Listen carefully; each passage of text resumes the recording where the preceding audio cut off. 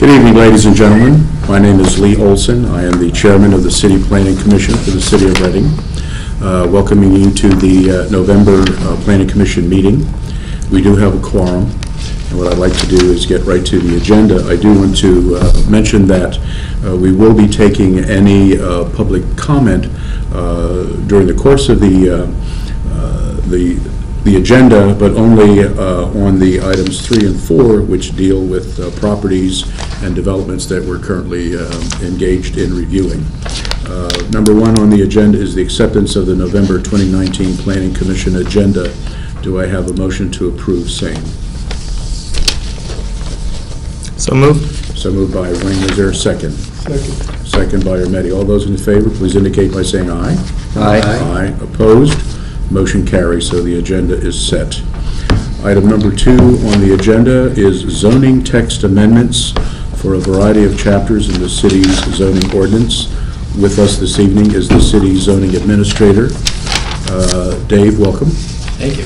I'm going to ask you to take us through this uh, series of uh, uh, chapters and sections within the zoning uh, ordinance that are up for review, and ultimate, I guess there is a uh, public hearing with city council uh, early part of next, next month, That'll be on December 3rd. December 3rd. Okay, so would you please uh, take us through item number two?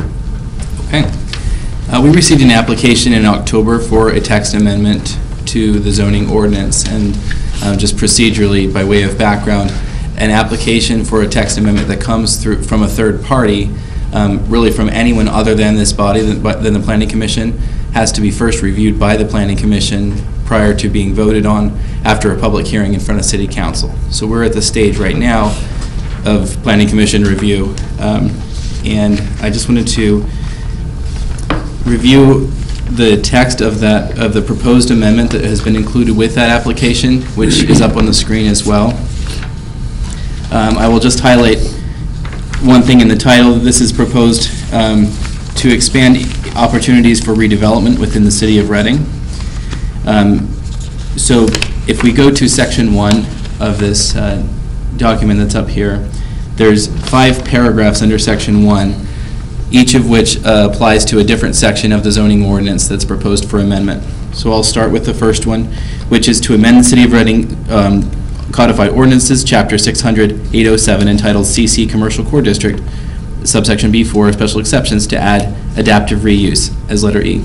Currently, adaptive reuse is not permitted as a permitted use in the commercial core district. It is permitted in other commercial districts, including the CR, the CN, and the CH. It's also permitted in certain residential districts. It's permitted in the R2 and the R3. So this proposed amendment would add it into the CC. It would still be a special exception use, which means that zoning hearing board approval would be required for anyone who would be um, proposing adaptive reuse. Now, I'm going to skip to number three on the list because it's related to number one, Okay, if that's all right. absolutely. And that's um, to amend Section 1202 of the zoning ordinance to make um, some text modifications to the section dealing with adaptive reuse. And what this amendment would do is simply recognize that CC is now one of the um, districts in which adaptive reuse would be permitted. So they really go one in hand in hand in hand with the other. As you can see on the last line of that page, in paragraph three, um, where it lists the, the districts where adaptive reuse is permitted, it says CR, CN, CC, and CH districts. Previously, it would have just said CR, CN, and CH. Now, just for clarification for the public's uh, knowledge, CR, CN, and CH, what specifically are they uh, uh, representative of the classifications? So CC is commercial core, and that represents the, the core downtown area, Fifth Street and Penn Street, um, and, and expanding out from there. The CR is commercial residential, um, that's kind of as you get away from the commercial core, but there's still a lot of blend of commercial and residential uses. The CN is, tends to be around nodes um, in the R3 district, so kind of dense residential where there's a lot of um, corner stores and other neighborhood-oriented commercial activity. And then the CH is commercial highway, which tends to be mostly along the Warren Street and Lancaster Avenue corridors. Okay, thank you. Sure. So um, I'll now back up to number two, since we skipped over that. Number two would amend the zoning ordinance um, to permit in the CN district, which again is commercial neighborhood, primary and secondary schools, private and public.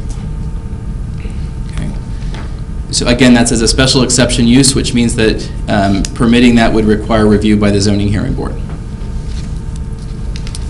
So that's the first three.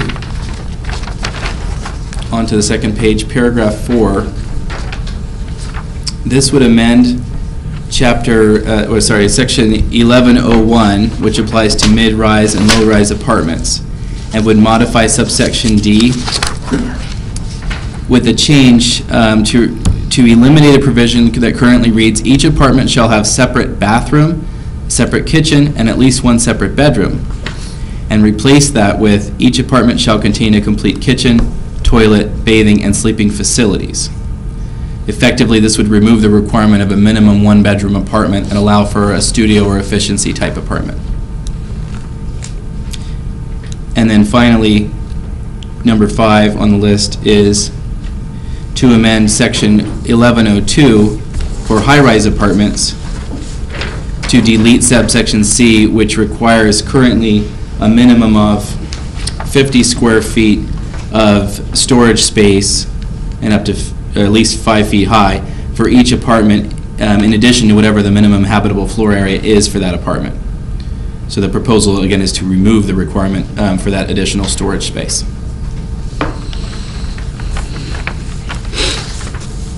Okay. Um, Anything more, Dave, that you want to add to this? Is there anything that you've read? And I know we, we're going to have staff recommendations, but as we digest this, is there anything that you want to call our attention to as one being more difficult than the other, or anything that stood out to you that we should be apprised of, or what we see is what we get? Well, the main thing that I would want to point everyone's attention to is just the fact that anytime a use is going to be permitted, um, it's important for the definition to, well, one, to exist, and two, that the definition be clear enough that it's understood for an, from an administrative standpoint of what is the use that's, that's allowed. Um, For example, um, our definition of adaptive reuse is non-existent. The the zoning ordinance doesn't include a definition. It does have a, a section that's referenced in here, 1202, which talks about what adaptive reuse is and how it works, and so um, it's, it's not been a major issue, but that would be a recommendation that there, that we include a definition in, um, in along with um, any, any such changes. Okay. And then, again, speaking of definitions, the, um, the definition for school is, there, there's only one definition for a school currently in the zoning ordinance. Um, It does not specify primary and secondary or public and private. And so listing that as the specific use that's permitted um, in the second paragraph may result in some confusion. As it is right now, the definition of a school um, excludes certain types of schools, most of which are private or commercial in character, but it doesn't really include or, or reference specifically the, the terms that are used here in listing this as a permitted use. So that is another area where um, some clarity would, would be um, helpful. Okay. Adam, if we can go over to the third column for planning comments, would you like to uh, give us your input from the planning Um, perspective? Absolutely. Do we want to run them all, or do we want to just do it one by one? Let's do them one by one. Okay. Uh, In number one, the addition of the adaptive reuse, staff has no objection as long as we provide a provision of including at least one principal business establishment on the street level floor area. Um, This is in the commercial core. Commercial should be our primary focus on that first floor. Um, The county also concurs with this comment as well, um, as they have provided review for this. Um, Taking it the same way that uh, David had, switching to number three, staff has no objection to the administrative change as long as the first change is made.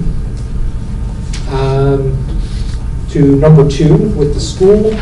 Uh, Staff does have some, uh, some objections to this. Um, To be honest, I would like to sit down with the school district and look at their master plan, hear from them if there is a need uh, for what they're proposing. I have no doubt that school conditions are in need of repair, and I do agree that their plan uh, to triage schools and then circulate them as they repair is not a bad idea, but, you know, as I have heard, there is also excessive space out there, so I would like to see what their plans are before we approve this in a vacuum. I am also concerned with the loss of a potential taxable space in a commercial neighborhood area uh, that does not conform with the 2000 adopted uh, plan, uh, comprehensive plan for the city, which is to at least try to preserve some of those areas.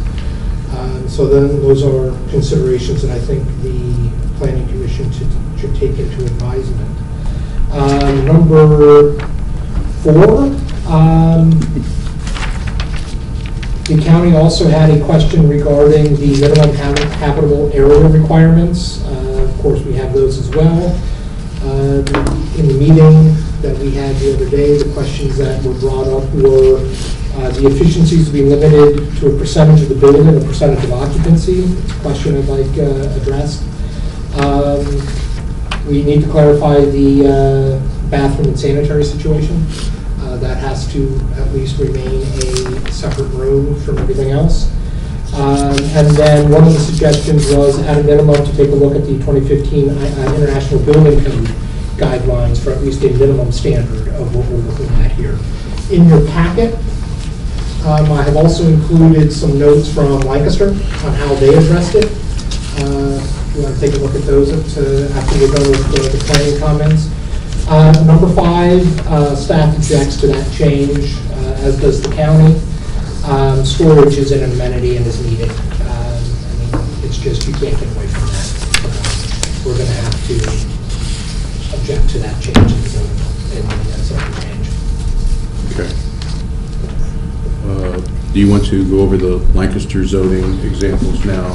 Because what I'd like to do is, after we do that, ask Tammy to weigh in from a community development standpoint, uh, what you have had an opportunity to hear or be briefed ahead of time.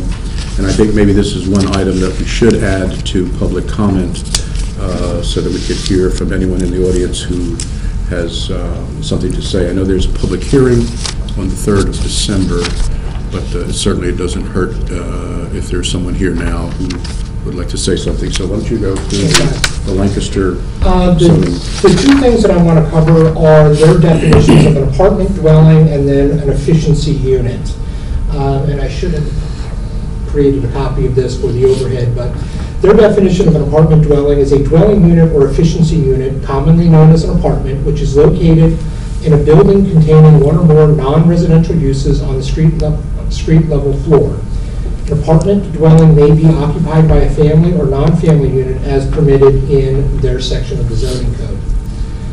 Uh, Their definition of an efficiency unit is a housekeeping unit consisting of one habitable room containing living, sleeping, cooking, and eating facilities with or without partial or temporary separation of functional areas, and with a separate room for sanitation.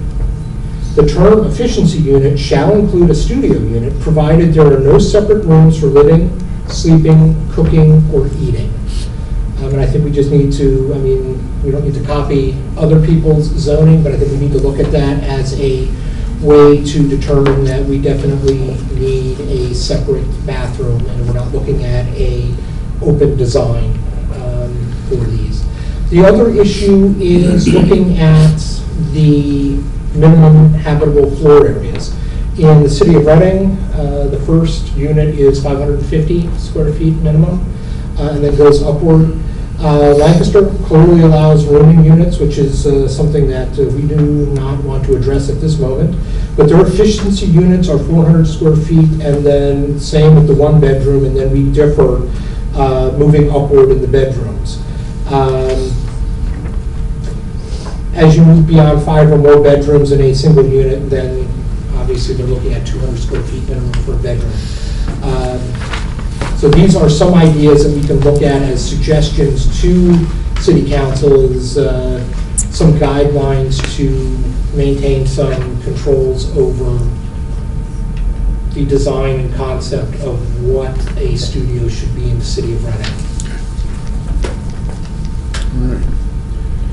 Tammy, from the uh, Development, Community Development Office, do you have any input or comment at this point in time? Well, I believe personally, um, with my own experience in um, apartments and studios, that they are extremely um, important to communities, especially ours, considering we're trying to incite um, people to move into the city, young millennials, um, even um, our elderly. I mean, personal experience with my father, who's a senior, who's now living in an apartment that is 300 square feet, and it's perfect for him because he doesn't have a lot of stuff. He, he doesn't need a lot of stuff, and uh, he's downsized, and a lot of people do. Empty nesters downsize, so efficiencies work. Um, and they're really popular in big cities like New York and, and uh, Philly, and, and I know I have personal friends who live in great loft efficiency units. So they want tiny space. They don't, you know, I mean, that's really trending right now. I don't, and students as well. Like, I think it's really important with Drexel and Alvernia and um, Albright that we have apartment units that are off campus available for student housing. I've heard that we have some developments coming in uh, that will include student housing, and they need small space. You know, they don't want large space. It's not like it used to be. So I think it's really important that we allow it. I know that we have some, some contention on this one, that it's not really a, um, something that we like a lot, but we- it's really important part of our community to allow it for all ages and all um, demographics that are coming into the city, hopefully. And I think it'll help them because of the cost and the, and the- and the needs for the smaller size. So I'm all for it personally when it comes to community development. Absolutely. Okay. And I have a different opinion on the storage. Um, I don't think that it's necessary to have an apartment with storage. I rented apartments in the city for 13 years, and we didn't have a lot of storage, and people lived with it, and they rented other storage space. So I don't think that it should be uh, mandatory to have storage with an apartment, but that's just my personal opinion. All right, we have heard the zoning administrator, we've also heard from planning and community development. Uh, Before opening it up to the audience, uh, if there's anyone there in here tonight who has uh, input, I'd like to ask any of the members of the commission to uh, weigh in and your thoughts and opinions, please. Uh, I guess I'll, I'll start. Okay? Um, Thank you.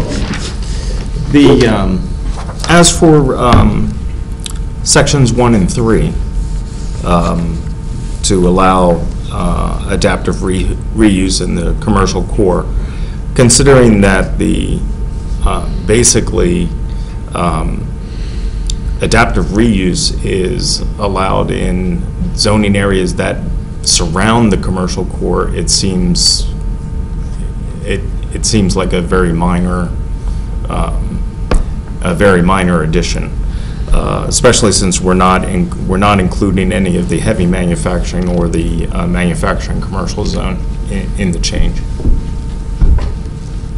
For, uh, uh, for number two, um, I believe that, um, I believe that Phil Rabina uh, hit the nail on the head about talking about um, refining the definitions of what, what a school is or could be, and adding that to the, uh, to the uh, zoning uh, under definitions. Um, And I, I also agree that, um, that um, limiting commercial, limiting commercial space, um, especially in such a high, um, all the commercial neighborhood um, areas, as far as I can remember, are all surrounded by R3 zones. So they're, those are high-density, uh, high-density residential areas. And um, since um, it seems to me that uh, many people don't use a car in the city, um, having as much commercial space in, in the city available to these R3 districts is very important. Um, For number four, um, I think we really need to sit down and work, work through the sections of what, what needs to be added to each section of the zoning ordinance uh, for what an efficiency apartment could be in, in the city. Um, When I first joined the Planning Commission 15 years ago, I thought it was a little strange that we didn't have, that we weren't allowing efficiencies. Um, see the argument both ways, but I think with the increase, uh, the, uh, the um, the- the possible increase or influx of a, uh, many more students into the city that are not, that don't seem to be traditional students that would, that would be staying at a dorm, it would probably be the best, uh, best for us to consider such a thing rather than losing uh, those people to the suburbs. And, um, and with number five, uh, I, I concur with the county review. My, uh, uh, as I, as I explained to Lee the other day, my, uh, my brother, um, when he lived, when he lived in, a- in apartments in Berlin, uh, there was always storage space available in, in the basement of those, of those buildings. Um, So, so not only uh, should the, should that, uh, um, should the uh, storage, the 50 square feet of additional storage be retained, um, there should be added to the definition that that storage must be contained within the building, um, so that we don't have, we don't have these commercial units renting pods and having U-Haul or whatever company drop these pods off in in the, in the, um, uh, in the um, parking areas. And then that's what's used as the, as the additional storage space.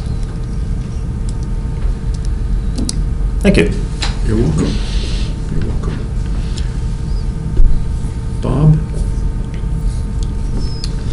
Um, For number four, I do think that a, a separate room for sanitation is necessary.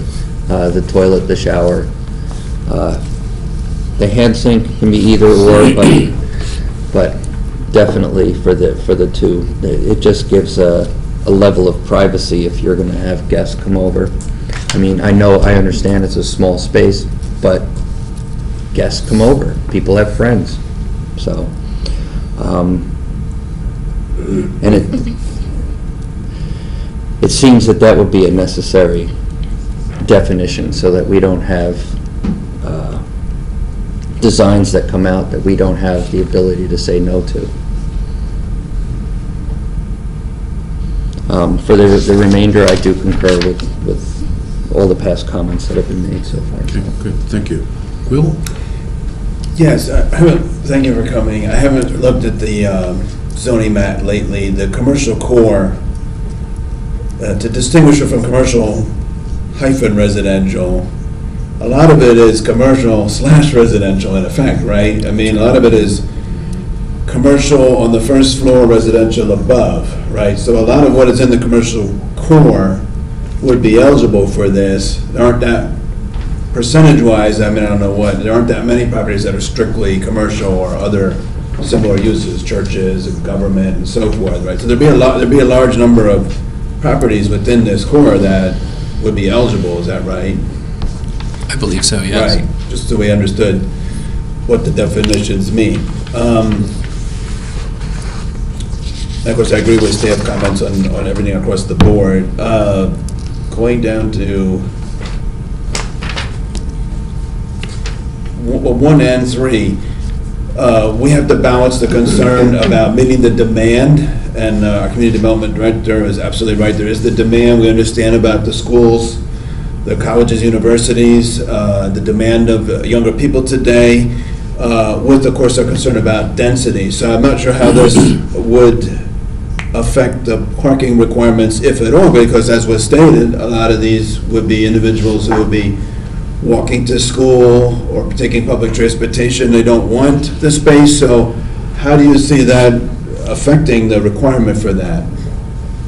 Go ahead. So this amendment, this proposed amendment would not change the current parking requirement, which is even in the commercial core and commercial residential districts where parking is waived for non-residential units, there is still a requirement that one and a half off-street mm-hmm. parking spaces be provided for dwelling units. So that's not proposed to be changed at So all by that would still be the case, but our expectation is in practice, it wouldn't be, Adaptive reuse does allow the zoning hearing board to modify those strict parking requirements. it could be requirements. modified. And of course, people could rent spaces in garages, city parking authority garages or private lots. And of course, there's some proposal right now about permanent parking and so forth going, on. okay, so I want to understand that. Let me go through, well, yeah, I had some more questions as to my colleagues. First of all, under the current zoning, is bathroom space counted as part of the habitable space?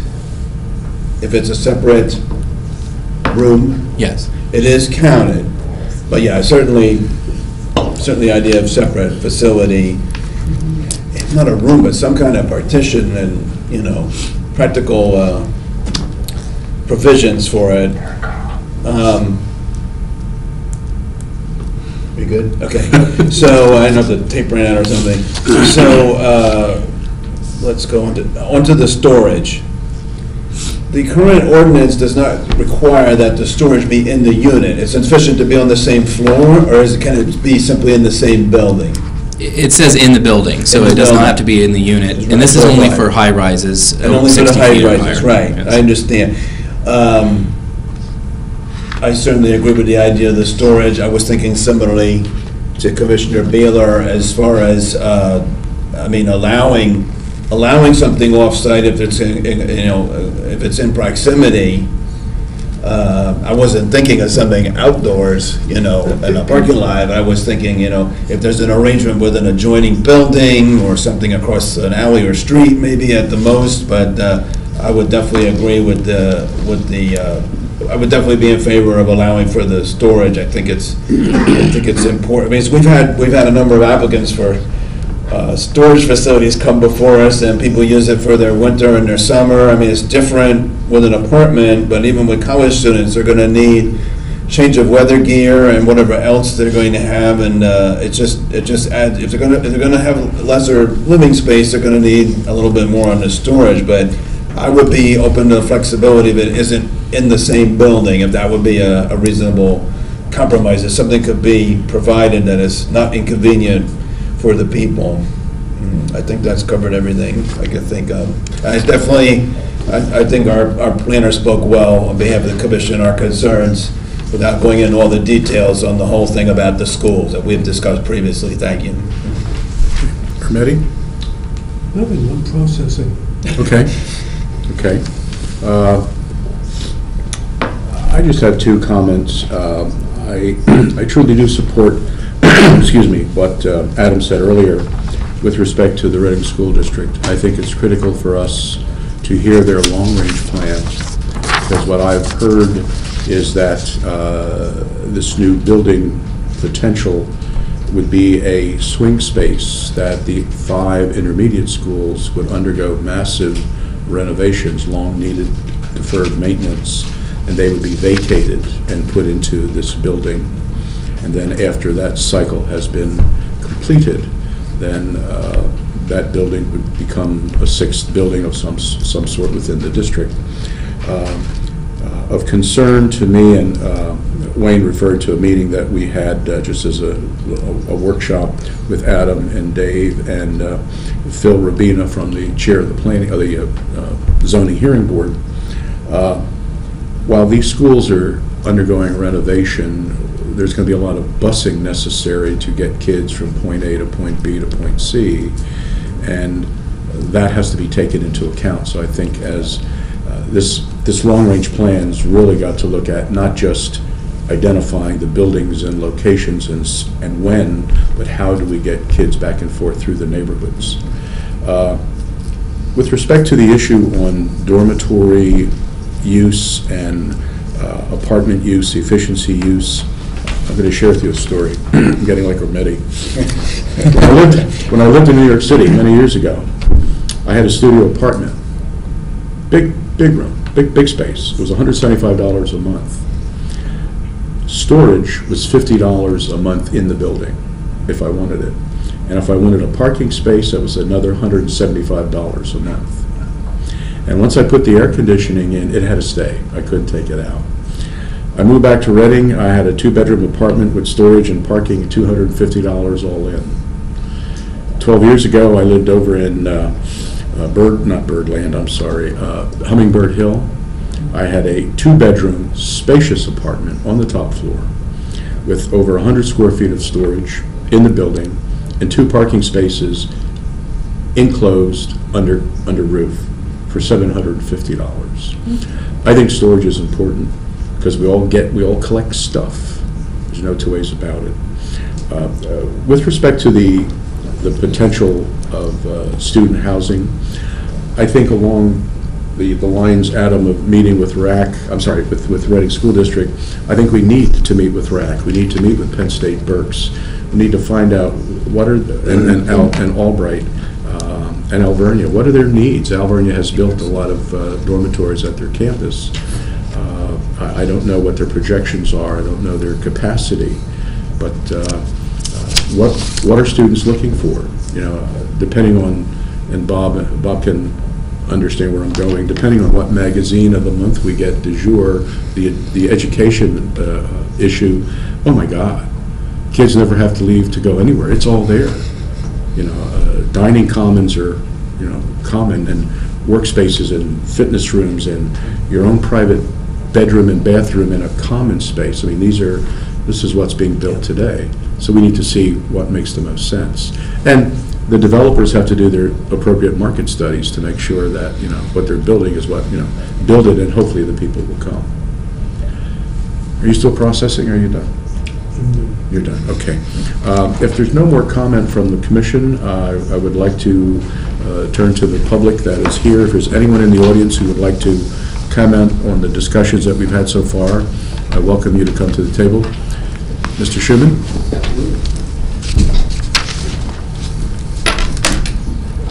Thank you very much for this opportunity to speak. So, uh, if you hadn't noticed, I was the one who drafted those, and apparently I made one or two mistakes. Uh, Is there any way to pull up item one, and we can go through these one at a time? Or or at least the first page? Okay, so item one, uh, of course, we're talking about adaptive reuse in the commercial core, and then uh, section three that goes along with that. This is pretty self-explanatory. We've done uh, a lot of adaptive reuses in the past. The most successful was the Big Mill building, uh, which the city would have been on the hook for close to a million and a half to two million dollars of demolition if we hadn't stepped forward uh, and been able to, to really use adaptive reuse properly to, to put that building back on the, on the tax rolls and, and into productive use. Right now, there are numerous uh, medium to large buildings in the downtown that are either completely vacant or mostly vacant and cannot be reused ac- according to the existing zoning ordinance. So this has to be expanded to allow adaptive reuse in the downtown, or those buildings will continue to, continue to sit there and deteriorate, or be abandoned like the Big Mill building was, uh, you know, up in, in northeast Reading. Uh, So that's number one and number three. Um, uh, Let me touch uh, just briefly on uh, number two there regarding the Reading School District, because I have had numerous meetings with the Reading School District. Uh, They're the ones who had thrown this out to uh, me to propose, uh, and while I'm on that subject, I've had numerous meetings with Alvernia too, and we'll get to that in four and five. Um, But the reason why this particular one is here, if you go throughout the city of Reading, the R3 zoning district allows for schools. So the school district can build a, a school in any R3 zoning throughout the city. Of course, anytime the school district has proposed doing a school in an R3 zone, every neighbor gets upset about it because you've got bus issues, you've got parking issues, you you have all kinds of issues with it. So it seemed like the intent of the zoning ordinance is to move more intensive uses to commercial areas. That's why you have the commercial neighborhood district, to have those more intense kind of commercial uses that are still associated with the residential area in those districts. So it seemed to make sense to have, have schools permitted in the commercial neighborhood uh, district. So additionally, if schools are permitted in the commercial neighborhood district, then I think everybody knows the particular uh, uh, site we're talking about. Um, The school district does not have to pursue having that rezoned to R3. Uh, And the hope here is that at some point in the future, just like with the Thomas Ford Elementary School, which is sitting there at virtually zero value because it's in an R3 area, it was zoned R3, uh, as long as this would be kept as a a commercial CN zoning in the CN district, at some point in the future, it could be reutilized again as commercial neighborhood, you know, a commercial activity, maybe 40 years from now, 50 years from now, at some point, if the school district would ever not need it, instead of converting it over to R3, and you end up like Thomas Ford, where the only thing you can do is tear it down and put in more high-density housing. So can we go to the next page now and take a look at Okay, so number four, which it seems to, to create a lot of, of interesting comments here. There was no intent whatsoever to have an open toilet bathroom, okay? Uh, So, uh, the whole, so after, uh, you know, I've been to Lancaster many times, I know lots of developers down there. Um, I've been to Allentown, Bethlehem many times, uh, know lots of developers up there. Um, All of the new development you see going on in those areas, the residential developments have a mix of, of studios, one-bedroom and two-bedroom units. We can't do that in Reading. It is almost impossible to make the numbers work on a development project in Reading, a housing development project, without that mix being in there.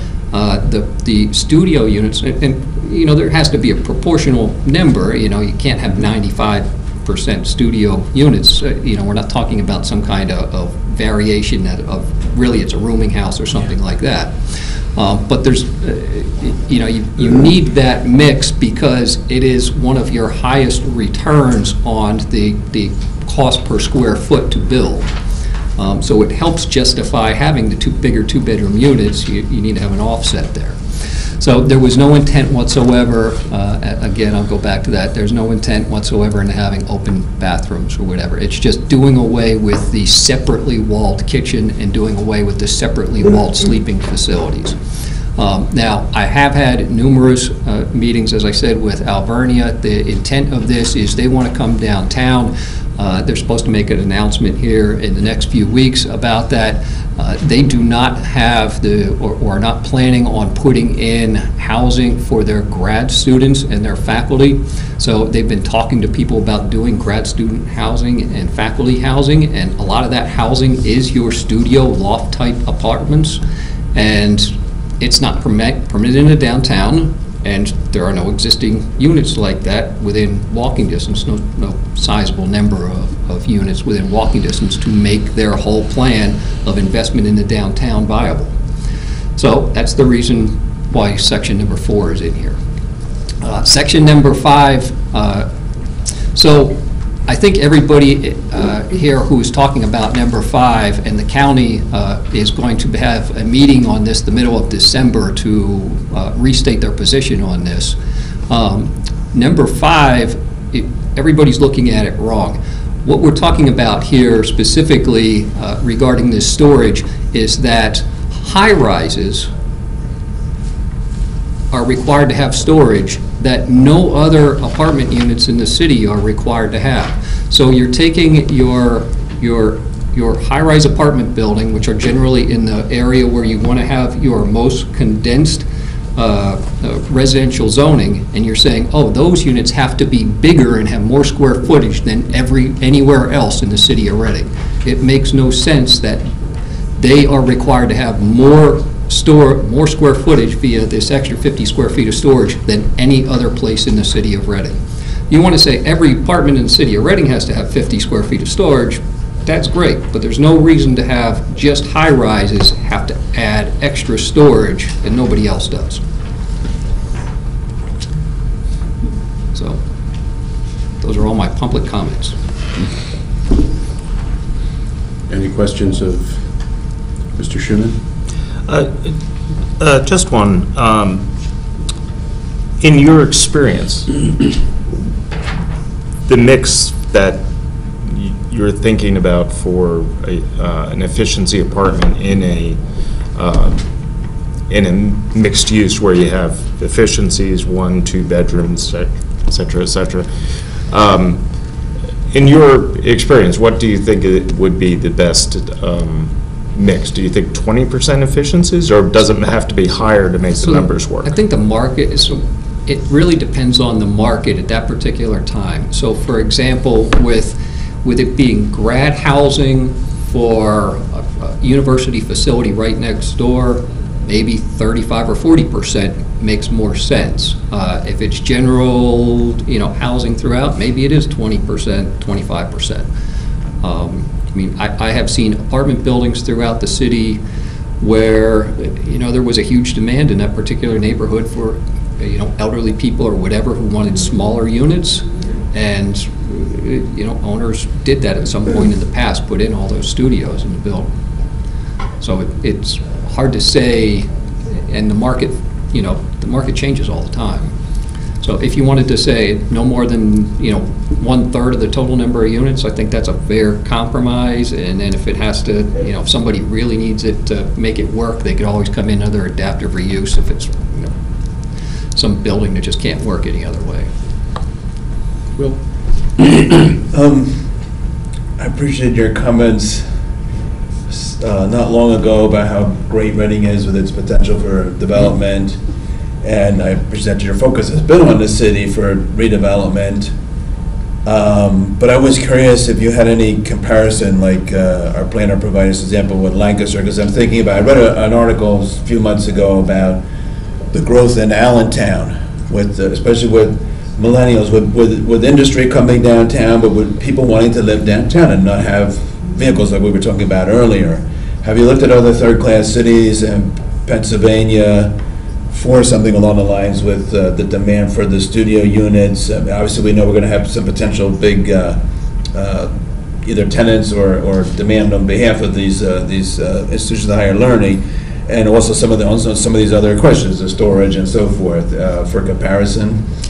Uh, I've talked to them, uh, to developers in other areas. I haven't come across any other municipalities that have the type of restrictions on that Reading has.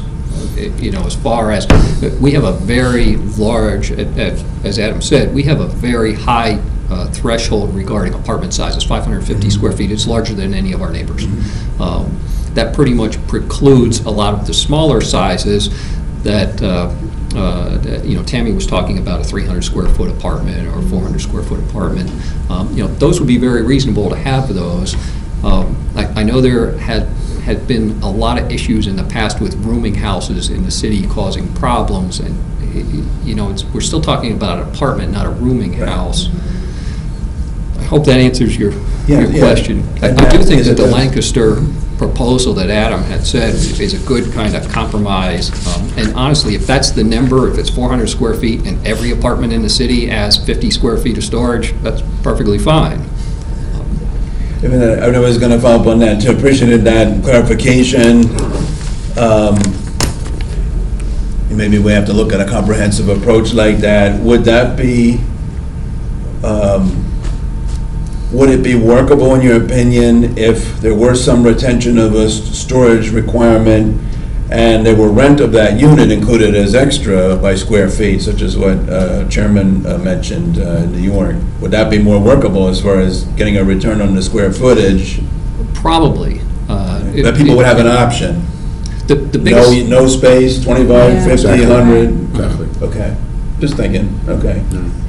And then if I may, I was trying not to go on a big, long thing on the school, that, uh, I'm sure Commissioner Ravioli would, would uh, back me up on some of this. Where the district went into a different direction was in the 1960s when it moved away from the neighborhood schools. Yeah. So that has created the need for more of the busing, and that, uh, most of the students are, are picked up and dropped off by a vehicle, even if they live in the neighborhood now. Exactly right. Because I live across from the school. And I certainly was serving on the school, I know about the swing space and all that, and that helps me to understand what I expect will be a more, you know, master plan, as we were saying, we do need to understand the whole, and not have a bit-by-bit approach, to understand where they're coming from. And I just want to comment on the Thomas Ford. The Thomas Ford Elementary School was in disrepair, needed a, a- a, you know, some seven-digit figure worth of repairs. Uh, Understand a small bit of it is being used now. On that same campus is the, a magnet school, a former magnet school, and that is being partly used. I'm sure it's not to full capacity. Uh, So that's cut down on the, that was an area, like like many of the other schools, had a lot of problems with the traffic.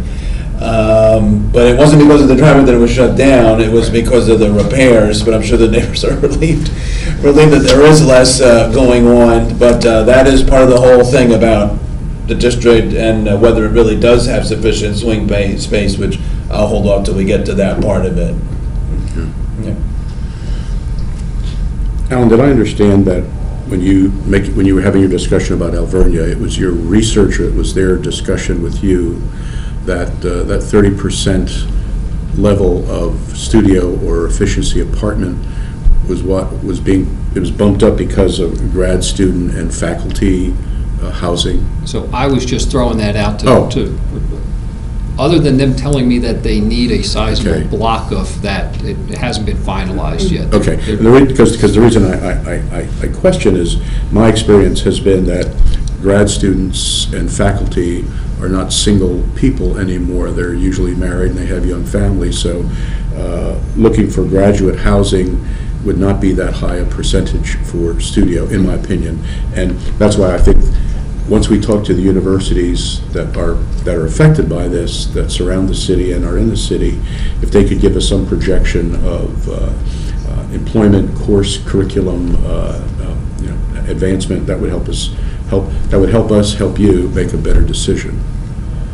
So, So I but I wasn't on the commission when the, uh, the nursing school for Reading Hospital was put in, and there was consideration about putting housing there, and then they opted not to go outside the city, and I don't know what that was, up, and my colleagues could, you know, enlighten us on that.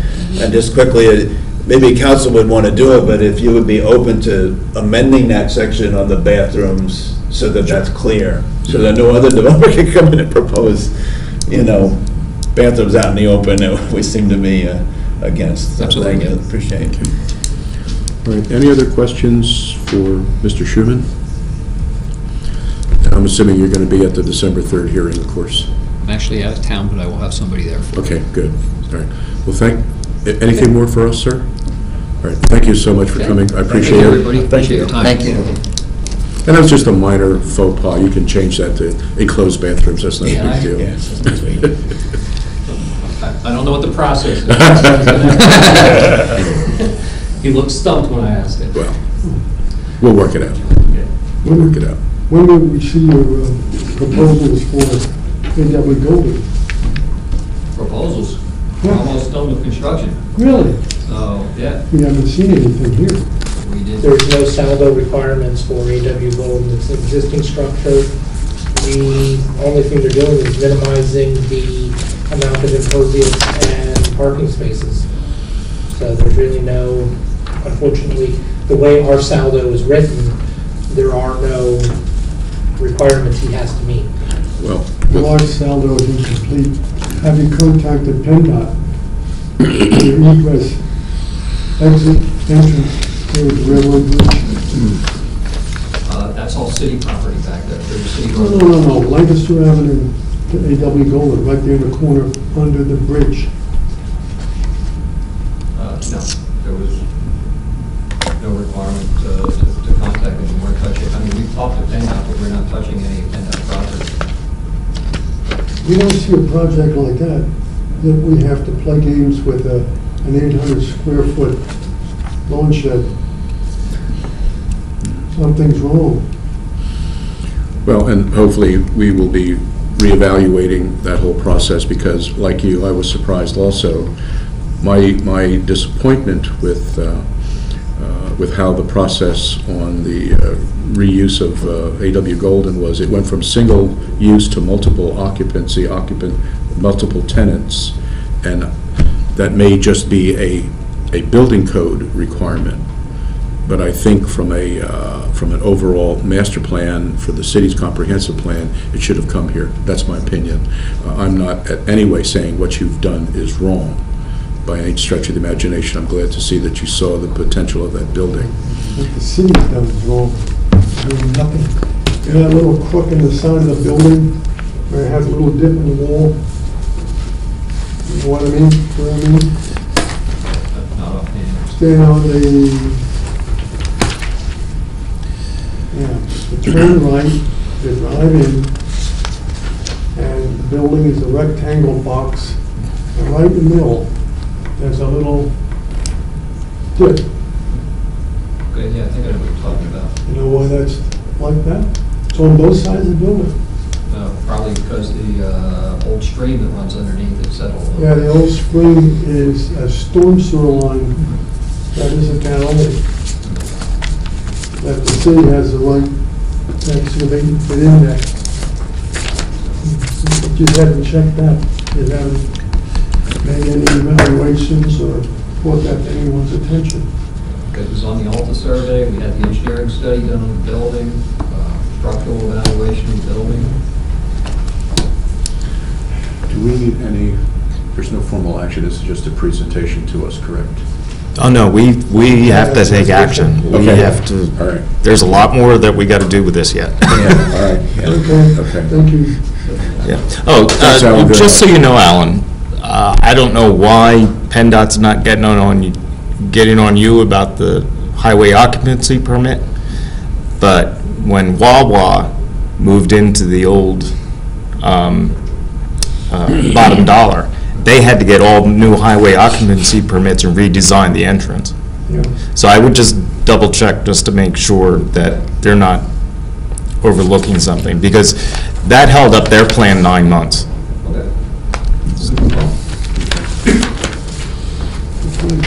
Okay, what is the commission's pleasure?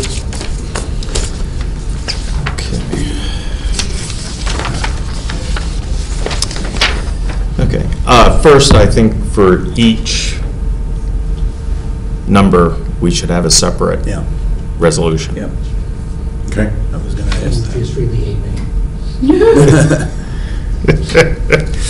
Um, Because it has to do, with each one has to do with a separate section of the, of Okay. the, uh, of the, uh, of the saldo. So all right. if, uh, I'm going to look to you for those motions then, if that's okay with you?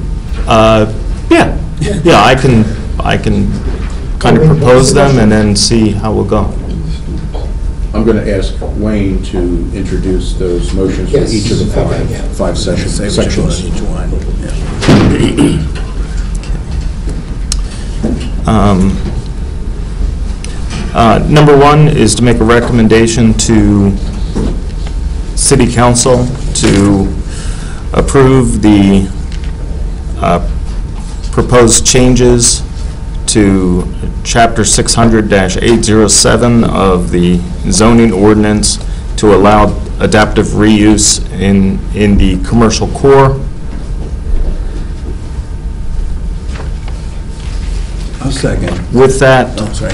Uh, With that, uh, and a a definition ba- based on the material, oh boy, based on the material in section 600-1202A should be included as a definition for adaptive reuse, and the term adaptive reuse should be added to the definitions section. Okay. Uh, It's been moved, is there a second? I'll second. Okay. Um, Any discussion? Hearing none, all those in favor of the motion, please indicate by saying aye. Aye. Opposed? Motion carries. Okay, motion number two. Wayne? Um, Okay, I'm going to throw this out here, and we'll see how it goes. Um, Planning Commission makes a recommendation to the, uh, makes a recommendation to the, uh, to Reading City Council to uh, deny an amendment to Chapter 600-809, which would entitle um, schools to be, um, to be allowed in the commercial neighborhood district until, until the uh, definitions of what a school is and the different types of schools is, is clearly defined in the definitions section of the, of the zoning ordinance. Okay, motion's been made. Is there a second? May I ask a question on the motion? Do you Question on the mean- motion? Do you mean table instead of deny? Um, Table might be better. I'll second. Okay. All right, so you're going to table action on number two. Recommend city council to table to- yeah, action on Predicated number on a definition of school. two. Correct. So the motion's been tabled and is this is second? Okay. Uh, There's no discussion. All those in favor of tabling item number two, please indicate by saying aye. Aye. Aye. Opposed? Okay. Okay. Um, Number three? Number three, uh, the uh, Planning Commission recommends to Reading City Council to amend Chapter 600-1202 to, uh, as, as stated in, um, as stated to allow um, adaptive reuse in the commer, in the commercial core, um, providing that, um, providing that one principal business establishment is on street, on the street uh, level floor area, and that the um, definition for adaptive reuse is added to the definition sections of the zoning ordinance. Okay. Motion's been made. Is there a second? I will second. Uh, Discussion. All those in favor, please indicate by saying aye. aye. Opposed? Motion carries. Next one is item number four. Wayne, you're on a roll, kid.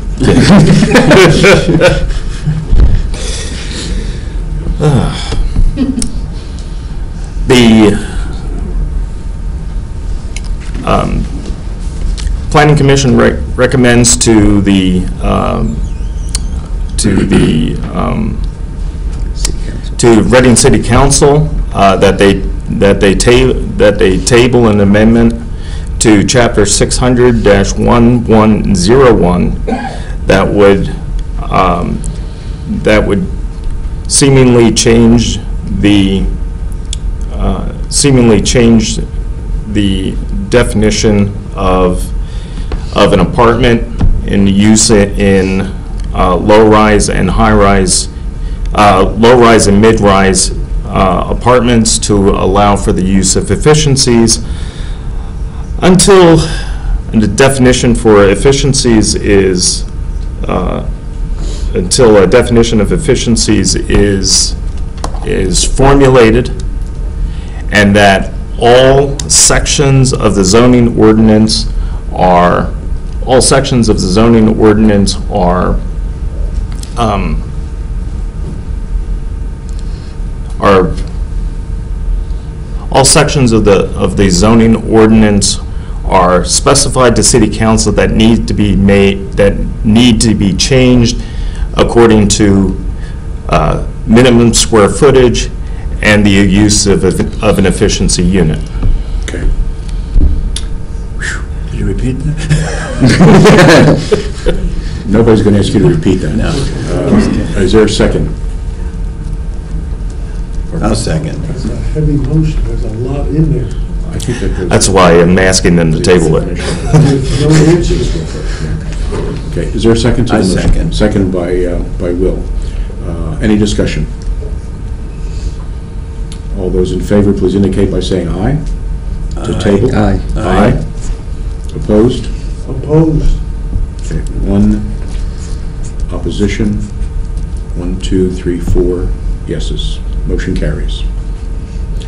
Final item, uh, item number five. Okay, uh, the, um, Planning Commission recommends to the, uh, to Reading City Council to deny an amendment to Chapter 600-1102 to delete the subsection regarding additional storage space.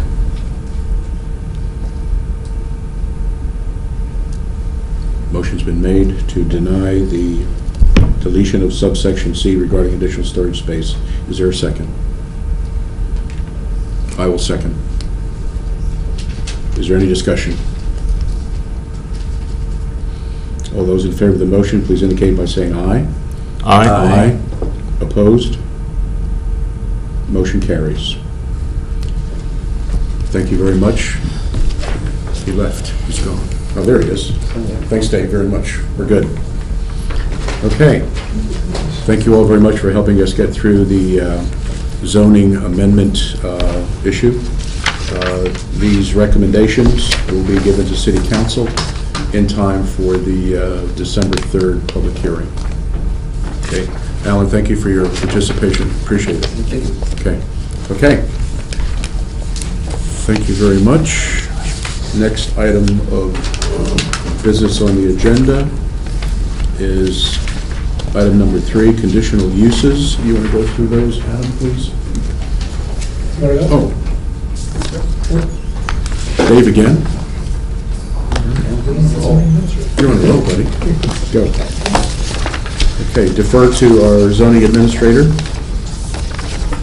First conditional use to be discussed is uh, item 2019-CL3 Banquet Hall at 50 North 6th Street in the Commercial Core District.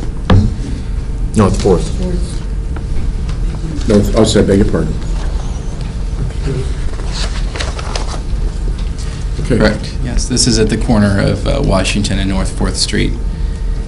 This is a property that's, has a mix of uses. It it has um, apartment units, a high-rise apartment unit, and it has several different ground floor um, non-residential uses, including currently a place of worship and a daycare, which were approved in the past three years by the zoning hearing board.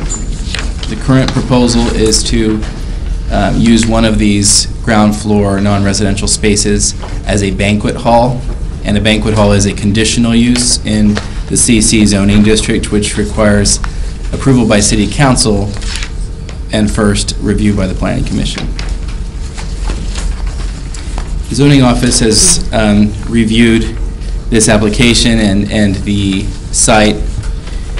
We do have a few recommendations or comments which may um, be something for the planning commission to consider. The definition of a banquet hall specifically, um, well, I'll just read to you the the relevant portion. It is a facility that is rented for wedding receptions and similar special events, and which does not meet the definition of a tavern or nightclub. A tavern or nightclub generally includes, and I won't go through the full definitions of those, but generally includes um, amplified music, um, operations after midnight, and the consumption of alcoholic beverages, uh, sales and consumption of alcoholic beverages potentially, and um, goes on somewhat from there. If amplified music is allowed, our recommendation would that be it, it- that it- that it be restricted similar to the restrictions that would be applicable to other uses where um, amplified music music is allowed. That is, that it's prohibited between the hours of midnight and 7 a.m. Um, The ordinance also limits it to Friday and Saturday nights in other uses.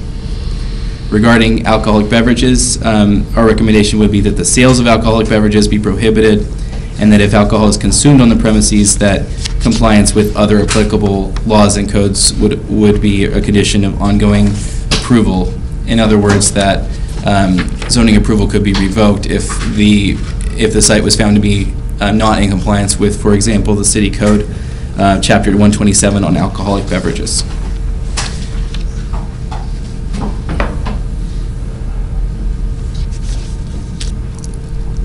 Those are our comments and recommendations at this point.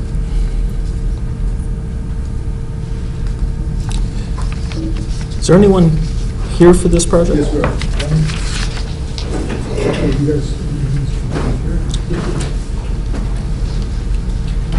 Good evening, I'm attorney Scott Ho for the applicant, and I have our plans, you have a copy of uh, all the plans that were submitted.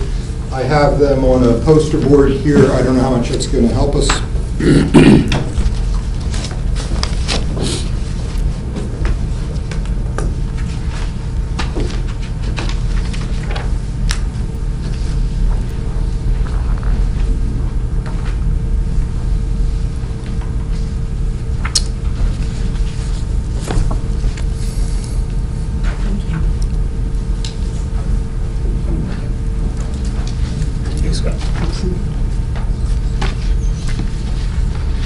Still on Fifth Street. Thank you.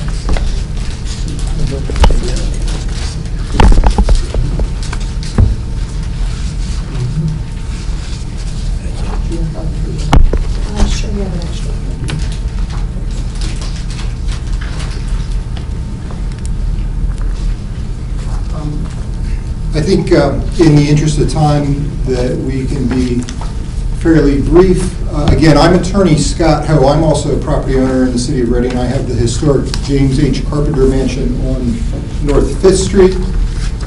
Um, I have a letter that explains the project and the relief that is sought. Uh, Some of you, uh, Mr. Raffaelli or Mr. Olson, may know the history of this. The Washington Towers was originally approved in 1965 and construction was completed in 1967. That was, I believe, a a project that was done by Mr. Knobloch. So some of you may be familiar. Um, This includes 94 um, residential apartments. At the time of its inception and its approval by the city of Reading, it included a commercial plaza that had a restaurant space that was approved at that time. It had different stores.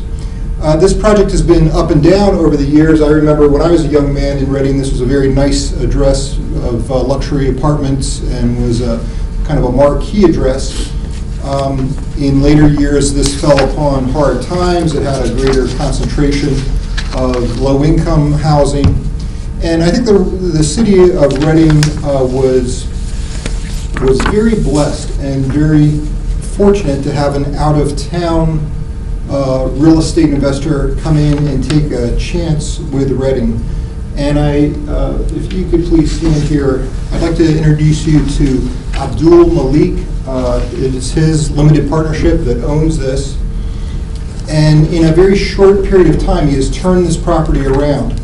Uh, Has, in addition to the purchase price, invested more than a million dollars of improvements.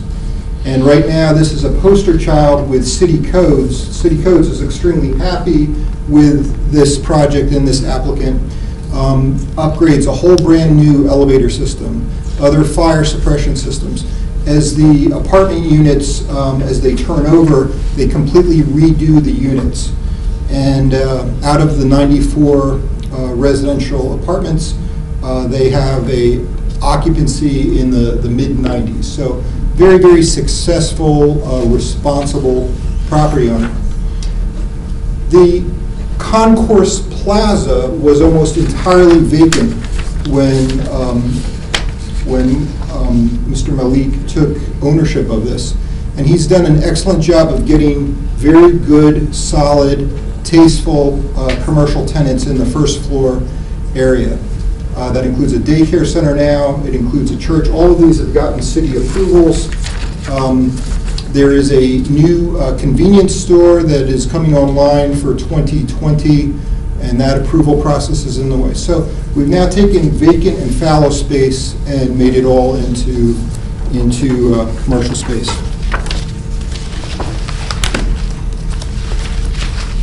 I have three sets of photos. Um, One I would like to officially enter in the record, Um, but the other two, if I could get back, please.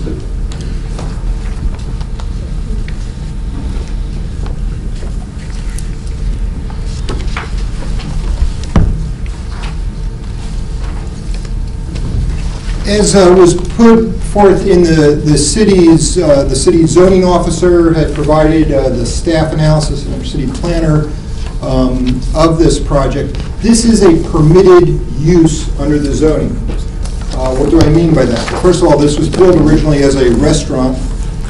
Um, The, uh, so when it was originally constructed, this space was used as a, uh, some of you maybe know, that it was, it was called the Madrid. uh, Plaza Madrid. Plaza Madrid. Best So, martinis in town.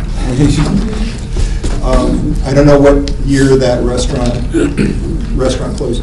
Under the zoning code, the zoning code under the commercial core district allows a banquet hall facility as a matter of right, but it requires conditional use approval, so that's why their permit was denied and why we're coming before planning commission. Next week on Tuesday, we're before city council for hopefully our final uh, conditional use permit approval on, uh, on Tuesday night. Um, My short letter, I've tried to keep that brief, but I also set forth the law. If you can't sleep tonight, I encourage you to read that, and I'll put you to sleep quickly. But the burden is initially on the applicant to demonstrate that the project complies with zoning, and it certainly does. This is a- an allowed use under the, uh, under the, uh, the code. And then the burden shifts to protesters.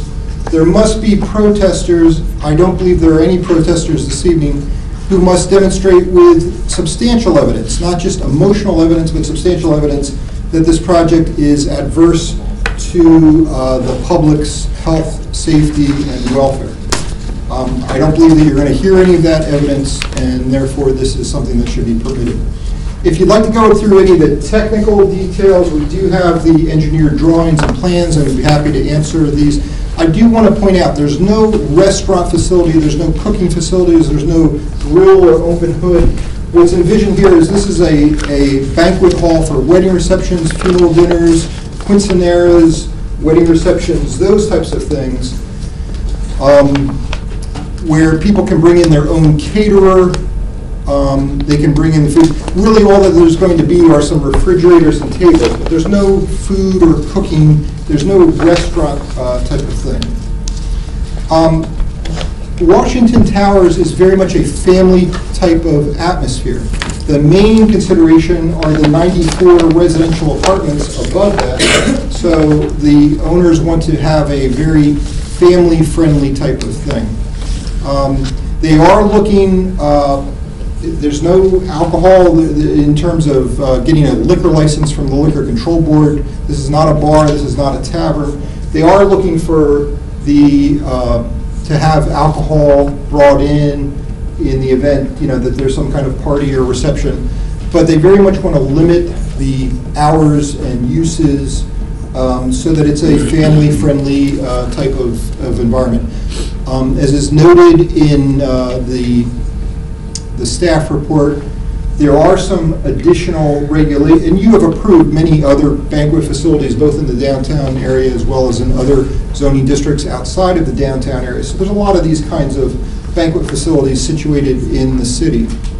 Um, it, the restrictions for BYOB or, or where other people can bring, you know, something like the Sterling Hotel on uh, Center Avenue is that type of thing. They don't have a liquor license, but if someone wants to have a reception or something, people uh, can bring their own alcohol there. Um, So the city, seeing a problem with bottle clubs in the past, this is in no way any kind of bottle club activity, has adopted further regulations, including in the property maintenance code. And those are all additional conditions that, that the property owner would want to, uh, to abide by. So I think it's a great project, it's an amenity, it could offer a nice banquet facility for these types of things at a lower cost option. The other point, even though the commercial core, the last thing I'll say and then I'll conclude, the commercial core doesn't require any off-street parking places. But this has an advantage, it's located immediately adjacent to the Shirelli Garage.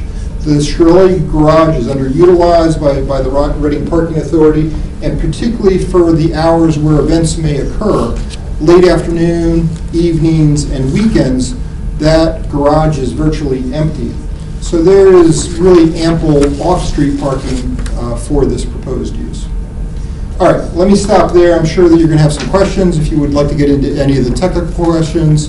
Um, If you have any questions um, for Mr. Malik, there is an on-site uh, property manager, um, and that that is Ruth Flores, and she's here also with us, so. Okay. So, Thank you, Mr. Ho. Let me, uh, let me first turn to Adam. Uh, What are your, the planning staff's comments with respect to this application, sir?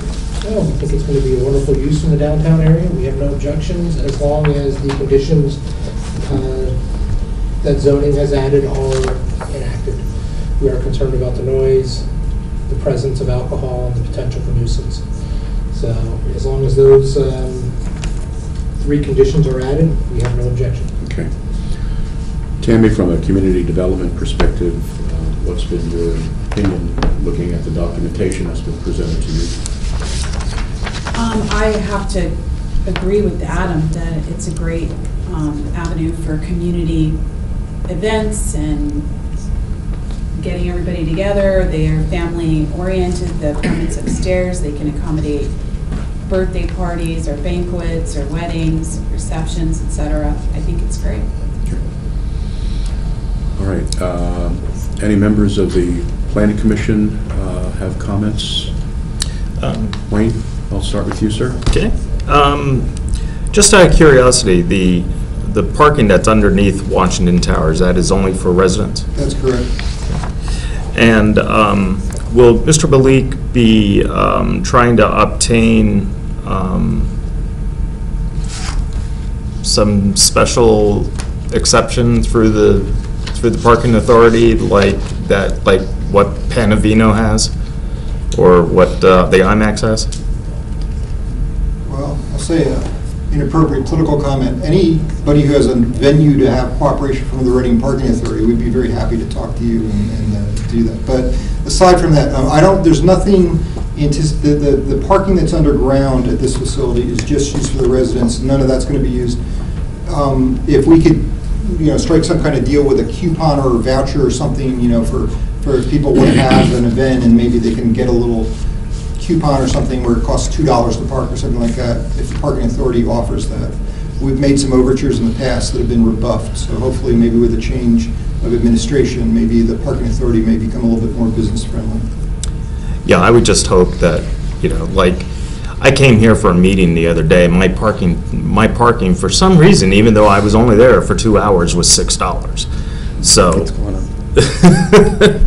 So, uh, um, I wouldn't, I, I wouldn't want to see, you know, if there's a reception or something that's three or four hours, that, you know, these poor people are going to be hit with like twenty dollar parking for each, you know, for each person. If they, if something could be worked out, I, I hope um, Mr. Malik would be able to do that. Uh, Sorry to say, we have no control over that. Any other comments from any of my fellow commission members? Will? Um, and So is the thought that it, the primary patrons would be the residents, or? No. Um, okay. and Perhaps they can, but ma- mainly the goal is, we don't want to negatively impact the residents. We want to keep the residents happy. Yeah. Um, We're getting, for city council, a petition and support from the residents and from others in the neighborhood. But I think primarily it's going to be some folks in the neighborhood who can be able to walk to this facility, but then other people coming in. It's not really the residents above who are going to be uh, having funeral dinners or receptions. Yeah, I mean, obviously, the noise, would that would be addressed with the- the zoning, and um, it's, it would be, it's And-. And and this is. I wanted to, there are some places where there are kind of uh, Latino performing artists, some rap artists and other kinds of things, uh, big music concerts. None of that's going to occur here. This is not, this is just a banquet facility. It's not a live music venue type of thing. That kind of invites some trouble that the owner just doesn't want to have as part of this. So it's proposed as a banquet facility, but given that it has little infrastructure, it could also just serve simply as a meeting space? Was there a thought for that? Okay, not that we want to meet there, but necessarily, but, but but for the community, you know, there aren't a whole lot of low-rent places to meet downtown. first floor, you know. The, Okay. the the owner did a smart thing, Reading Rentals on Center Avenue, the rental company went out of business, and they went to the auction, and they, so they have That's what all I- the tables and chairs and accoutrements, so that- that's all ready to go. Okay, thank you. Any other comments? I have a few, Mr. Chairman. Remetti? Um, When people are leaving and arriving, you're going to find the double parkers on Washington Street at the corner at all hours. They do it now, and this facility isn't there. And they're in the traffic cartway. There is no pull-off there. There is no temporary parking. All the lanes are live. The other thing is, they're not gonna have good control management-wise because they're not controlling the food and the liquor. You gotta do that. I mean, if, if you, if you use any other system, uh, you, you'd have trouble. Who brought what in, how much, what was brought in, um, whether it's food or, you know, you, you don't wanna handle that. You give banquet centers away, give them away free. You make your money with the bar and the food. Anyone in business knows that. Um, Then you lack control. Now, If you can, you gotta control your house.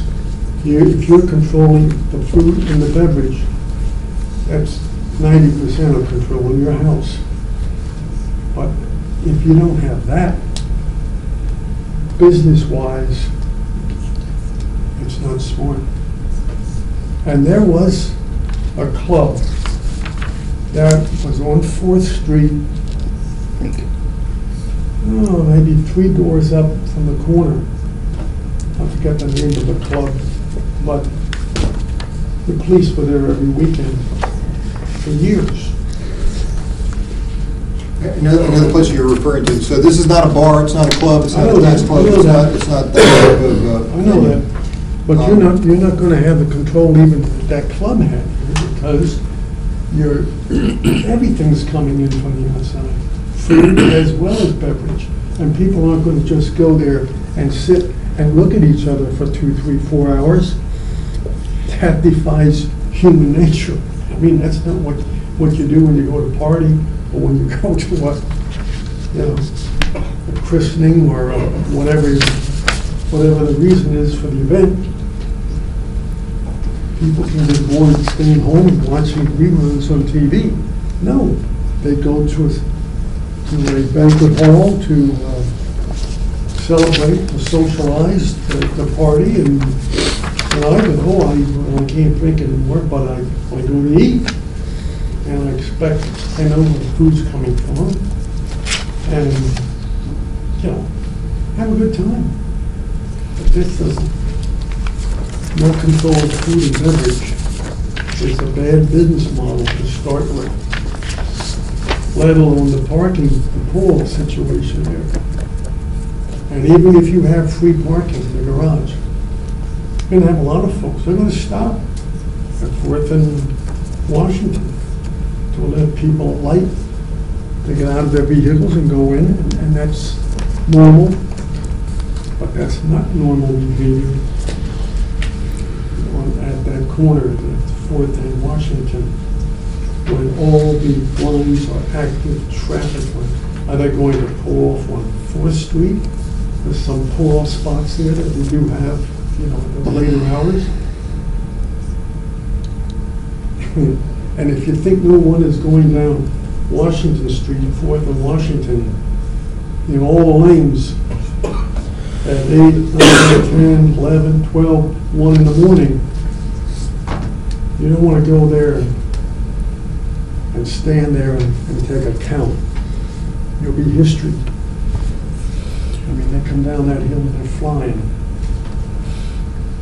Mr. Ho, are- are there any uh, business model plans that tell us about hours of operation does Mr. uh, Malik have a timetable that he Yes, so, plans? so the city had requested, and also some of the other zoning regulations require no activity between midnight Midnight, okay. and, um, and s- one, for bottle clubs, it says six AM, another location says seven AM uh, in the city's recommendation.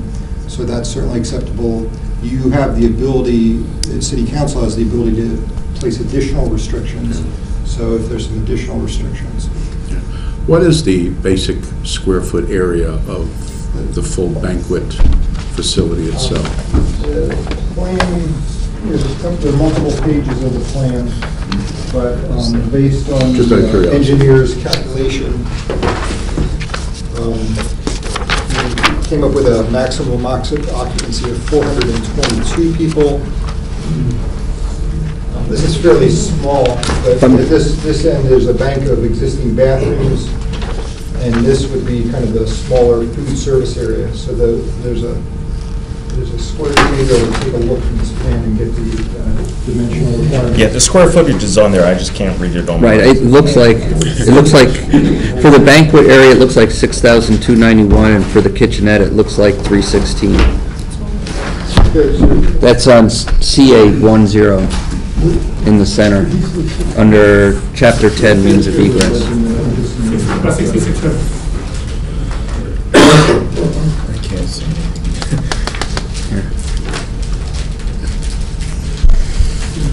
This looks to me like the spot that you, that used to be the grocery store? I'm sorry. This is the spot that used to be the grocery store? I remember that.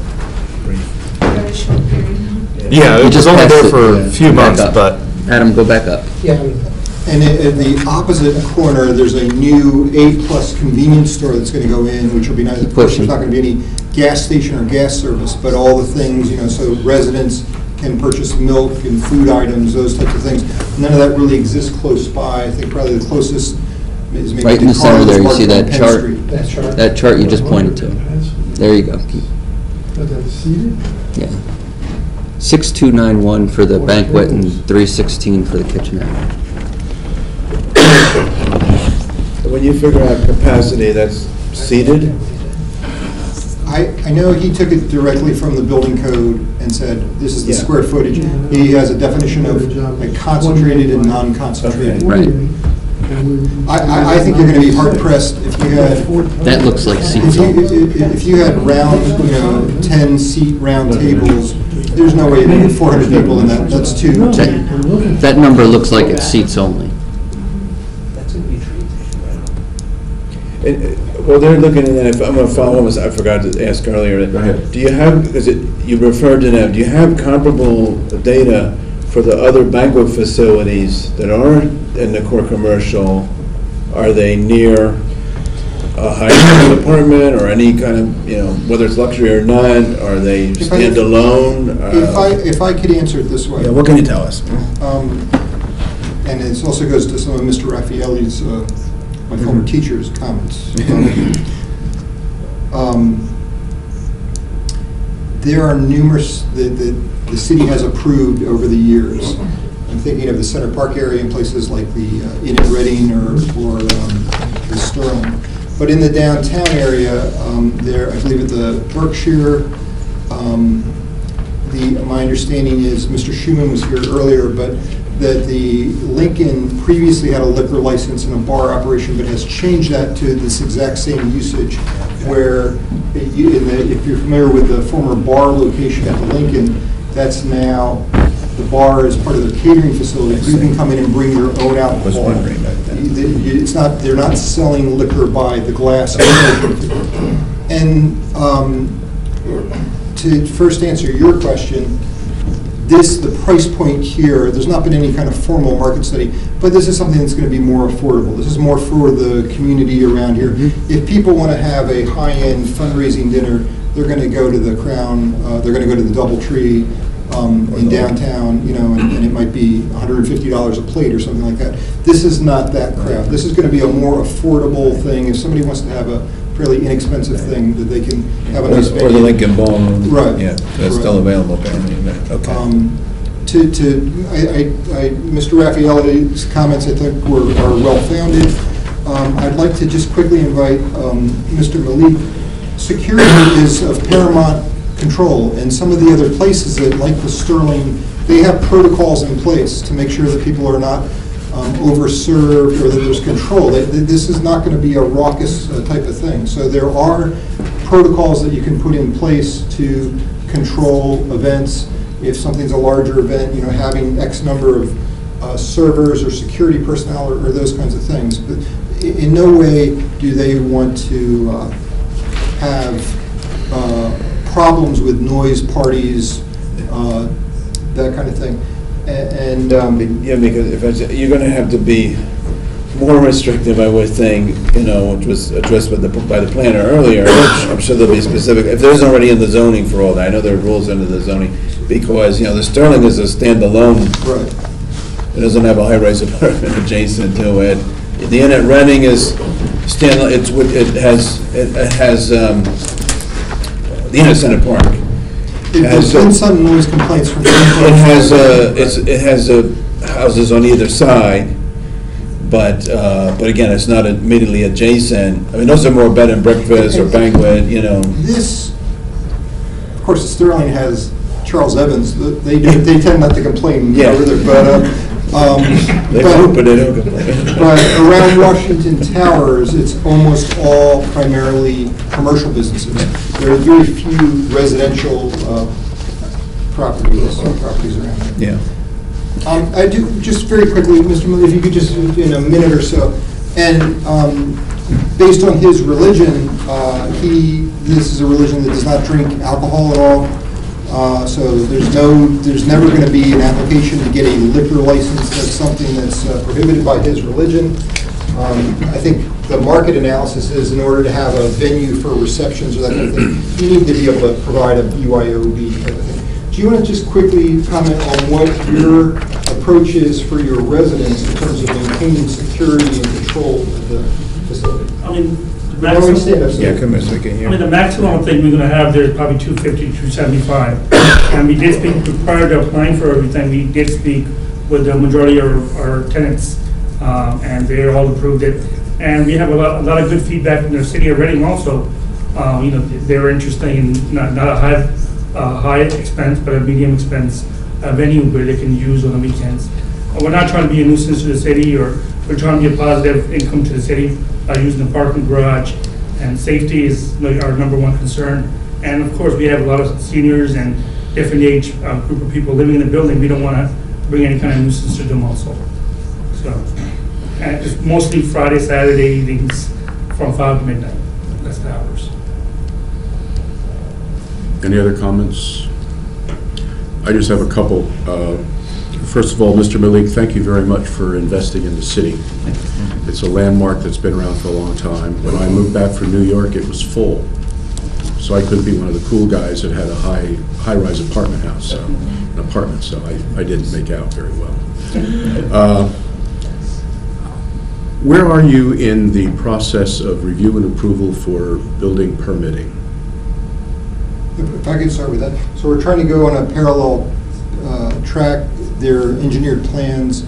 There have been, we've gone to the one-stop shop, and they have submitted, uh, uh, gotten building permits with the goal that we're trying to go on a parallel track to get a final certificate of occupancy, hopefully by January. So you have building permits, this has been reviewed and approved by the, the the city codes officials? I believe so, yes. They've had inspections and follow-up inspections. They've been very pleased with the quality of the work.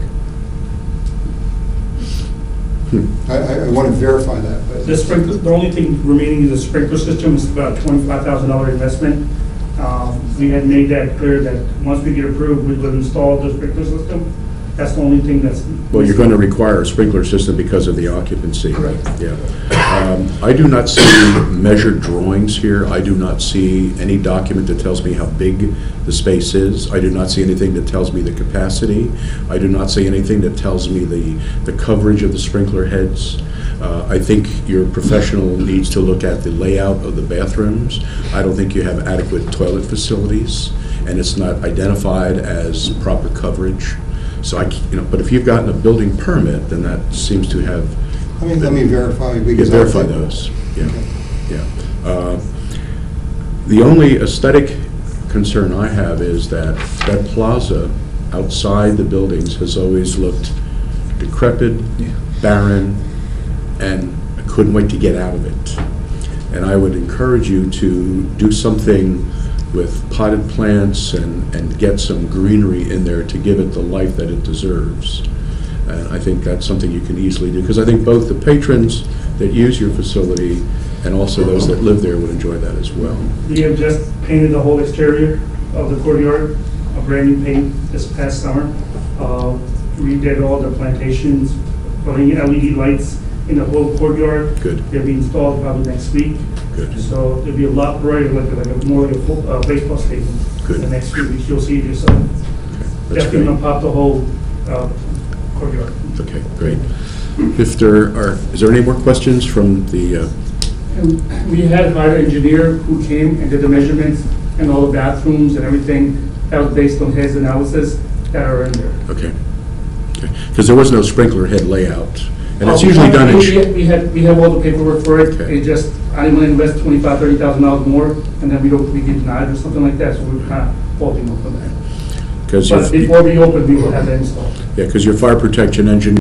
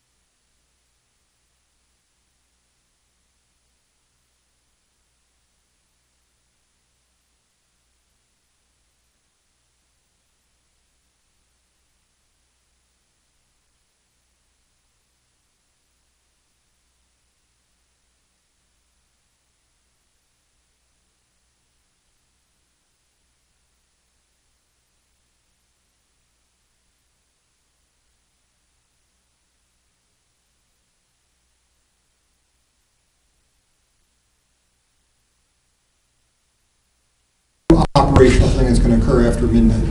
The- the- Okay. the- the- There's, the main priority is to take care of the residents above. That's So I this is mean, not a yeah. all-night type of uh, dance rave or something like that. Well, like I Um, said, I would just so- so say- Things, things are going to be done and over with by midnight. Yeah. I think it's a fair comment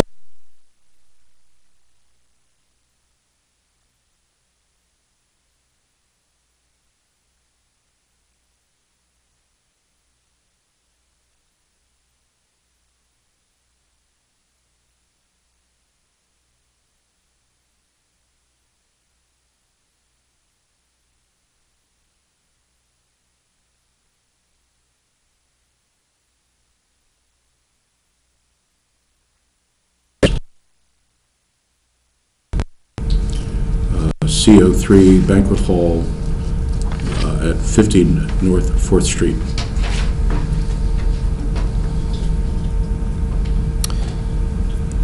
I make a motion that the uh, City Planning Commission recommends to, to um, City Council that to approve the conditional use of the banquet hall at 50 North, the proposed banquet hall at 50 North Fourth Street uh, with the, with the, um, uh, with the uh, limitations as, as um, presented by the, z- uh, by the zoning department. Okay. Is there a second? I'll second. Second by Bob. Discussion. Hearing none, all those in favor of granting cons- uh, conditional use with the, um, the items as identified uh, in the uh, review by the zoning administrator, please signify by saying aye. Aye. Aye. Opposed? Opposed? One opposed, four in favor. Motion carries. Great, Thank you very thank much. thank you all. Thanks so much. Thank you. Thank you. Under those, Adam, do you want these for the record? Uh, One for the record. For the record, okay. All right, Next, next conditional use is uh, the conversion, addition of a fifth dwelling unit at 1101 North Ninth Street.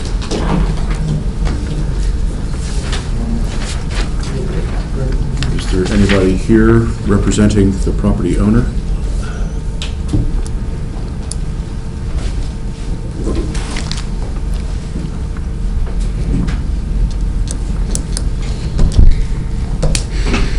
Is your show tonight, brother. All right. Go ahead, Dave. Okay. This property is located at 1101 North Ninth Street. It's at the corner of North Ninth and Robinson. This is a 2,000 square foot lot that currently has a retail store. It's described as a um, grocery slash restaurant. In addition to the ground floor retail, there are currently four dwelling units in this building. There's no on, um, on-site parking. The existing residential units that are in this building are below the minimum required for a one-bedroom. Each of them is a one-bedroom unit, and they're each below the required minimum of 550 square feet. They range from 420 to 440 square feet each. There's two on the second floor and two more on the third floor. The applicant is proposing to take the ground floor space and add an additional 670 square foot unit, a residential unit at the ground floor level. Given the, eh, excuse me, and the, he's also proposing to rent um, two parking spaces from a neighboring property two doors down at 1111 North Ninth Street from the rear, where there is a garage facing onto the alley in the, rear- uh, you know, onto Mill Street in the rear. Our our report notes that there's no site plan um, showing the parking specifically, and it appears from our staff inspection of the, of the site that there's not enough space for two spaces, parking spaces in that existing garage. And given that there is um, also a residential unit on that property at 1111 North Ninth, our assumption is that that property itself needs those parking spaces that are there in any event. Our recommendation is not to approve um, this proposal to add a fifth dwelling unit to this property, given that there is no um, available off-street parking, and given that the existing dwelling units, as they are configured right now, are below the minimum requirement. This would exp- effectively expand a nonconformity, and that's our recommendation. Thank you. Is there anyone present this evening in the audience who represents the property owner or is the property owner? At this point in time, Adam, uh, I wholeheartedly concur with Ronan, that we deny based on the fact that parking will be an issue and that it is expanding the non-conforming use, and that will be a problem for the neighborhood as parking is in such a large supply in the city. okay. Sarcasm though. Any comments from the Planning Commission membership. What is, what is your, Yes, Mr. Chairman. what is anything? I perused the, uh, the drawings, the floor plans, uh, which Of reservations about. It definitely was done by an amateur, that's okay, I took that into consideration. But uh, the drawings are incomplete. Windows aren't shown, doors are not exactly well displayed. Um, I couldn't believe that living areas were dimensioned as six foot wide. Um, That's a narrow room, six by eighteen or something. That's a little hard on the knees when you hit the, the opposite wall when you're sitting on a chair. Um, There were other things that, uh, the informa- information was not properly displayed on the planes. Um, This building that we see in view now, is it mainly the building in the front with the washed-off red brick coat? Or is it the entire building with the full second and third floor, the whole length? It's gotta be the front. It's the second one that you said, yeah, it's all three stories going, going back pretty much to the alley.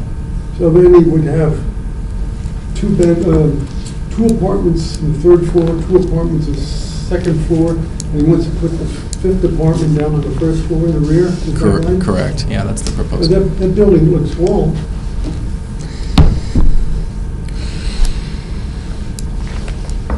Physically, they might, they might fly, but the, the parking regulation is, is the big one.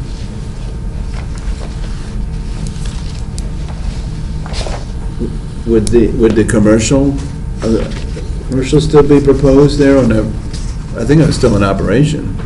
But this is a major Yes. intersection, I didn't realize, I was trying to picture eleven hundred buck, I mean, because, like, most of us that are coming, this is only, you know, it's over six blocks from where I live, so most people are coming, instead of going up Spring Street eastbound, where we go on to Nickel Street, and it comes right to here.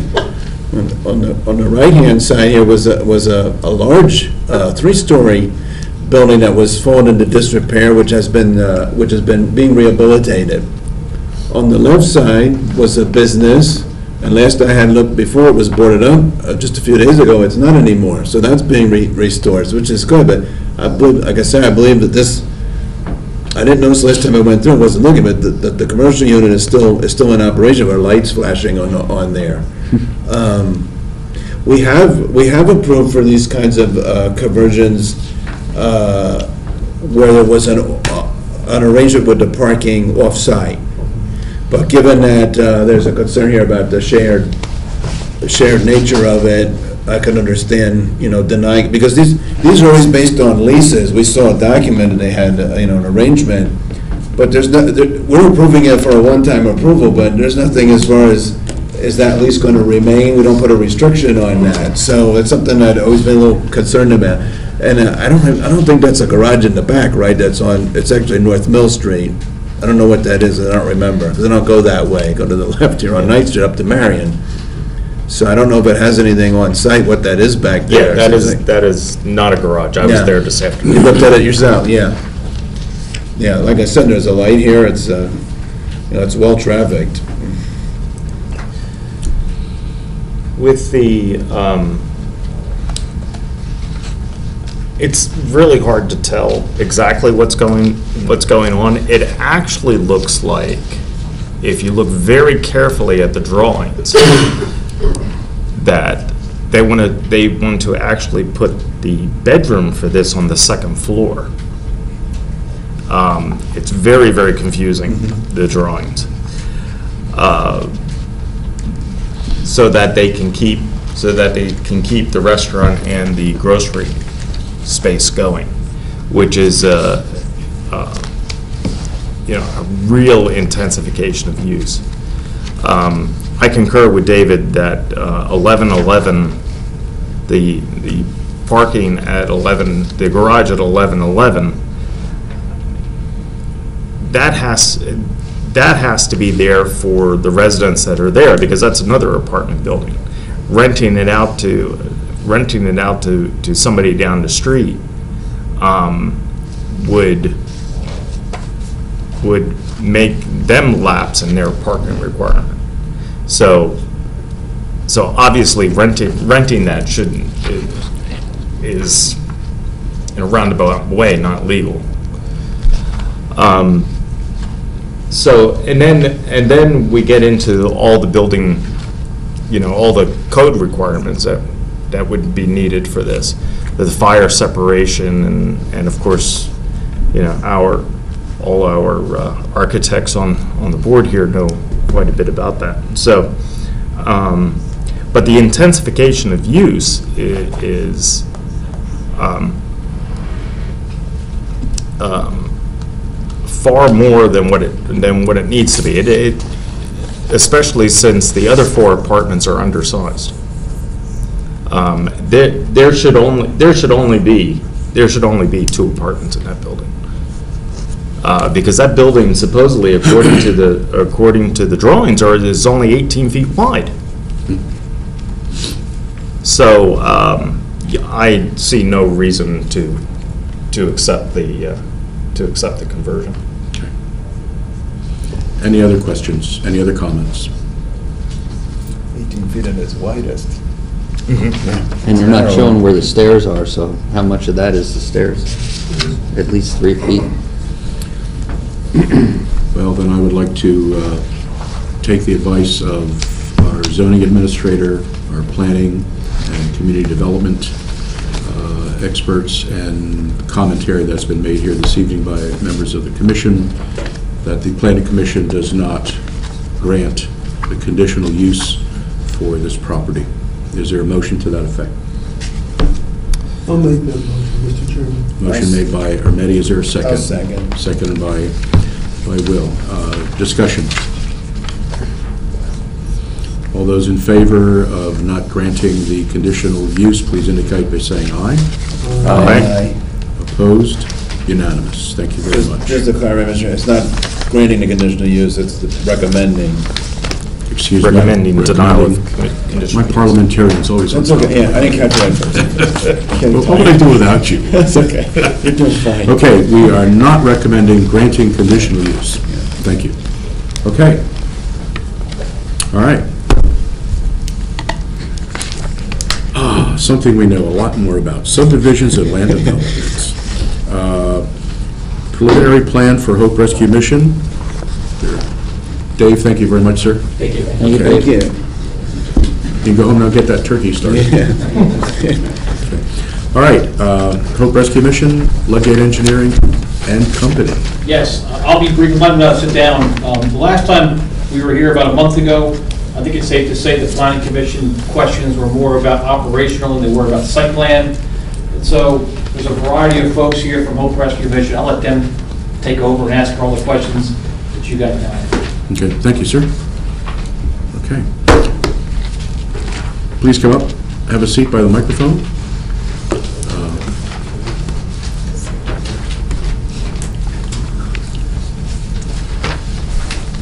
When your architect was here, uh, took us through a floor plan that showed the complexity of what's inside the building, the occupancy, the, uh, the functions that are happening inside. What we'd like to have is a little more discussion programmatically about a day in the life of the building with, with mothers and children, and how, how does this operate? Uh, I personally had some concern about the, the high density of, uh, of, of utilization of spaces, the high number of, of- of units where mothers and children would be there. Uh, We had some concern about the window sizes uh, and access to the uh, facilities in the event of an emergency. Uh, We just want to make sure that what we're getting and what they are getting is at quality of space that will help them. And so if you could take us through a little bit of how you got to the size uh, within the building, because the building is not changing its size at all. The square footage that we have, and it's, what, about 20,000 square feet is a round number? It's just shy of 25, 25,000. 70 just seemed to be a- an extremely high number, and we were concerned about the ancillary support services that go with the units themselves, because it's a high concentration of bedrooms, private baths, and all the things that we would like you to help us understand. How do you handle a day in the life of the organization? So, uh, Well, good evening. My name is Rob Turchi. I'm Yes, the Rob. Executive Director of the Hope Rescue Mission. Um, I had the pleasure of touring uh, the uh, the men's building and the veterans building with Rob and got a, got a good uh, display of how you guys do things. So I'm glad you were able to show up and come here today. Appreciate it. Thank you. Um, You should probably be even more uh, happy that Gwen Didden is here. Um, Gwen is our uh, professional consultant at this point with a myriad of um, professional experience in offering so- social services through multiple organizations um, here locally to uh, women and children in need.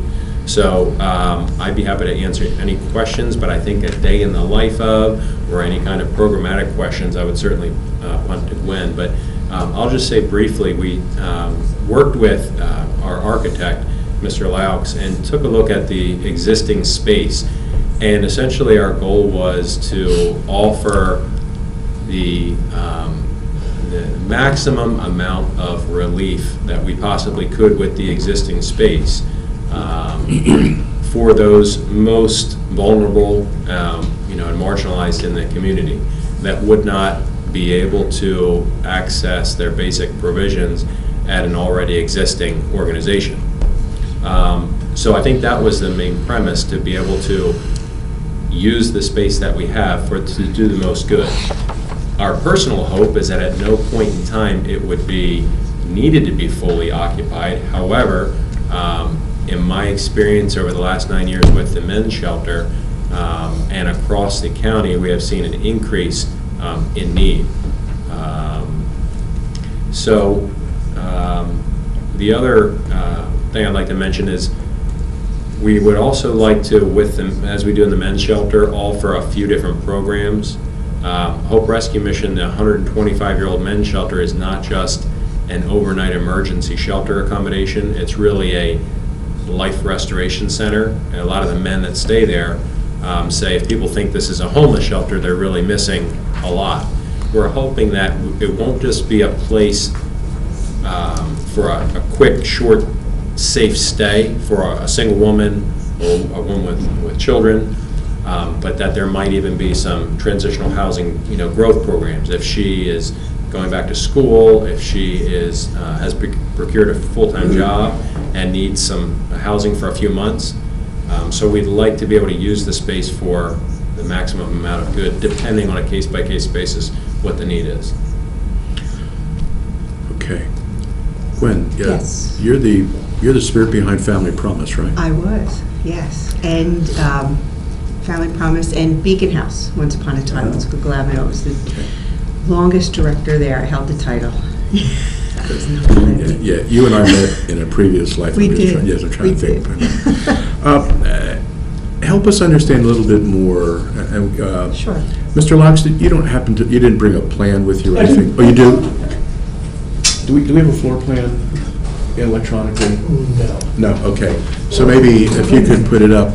Uh, We're enjoying it. If you, maybe maybe we can just stand it up along the, uh, uh, now when we need an easel, we don't have one, but uh, uh, I know my, my concern was that it was such a tight, tight, compact floor plate Yes. that, a- and now with Rob talking about the other, the other potential programs, uh, shouldn't it be bigger?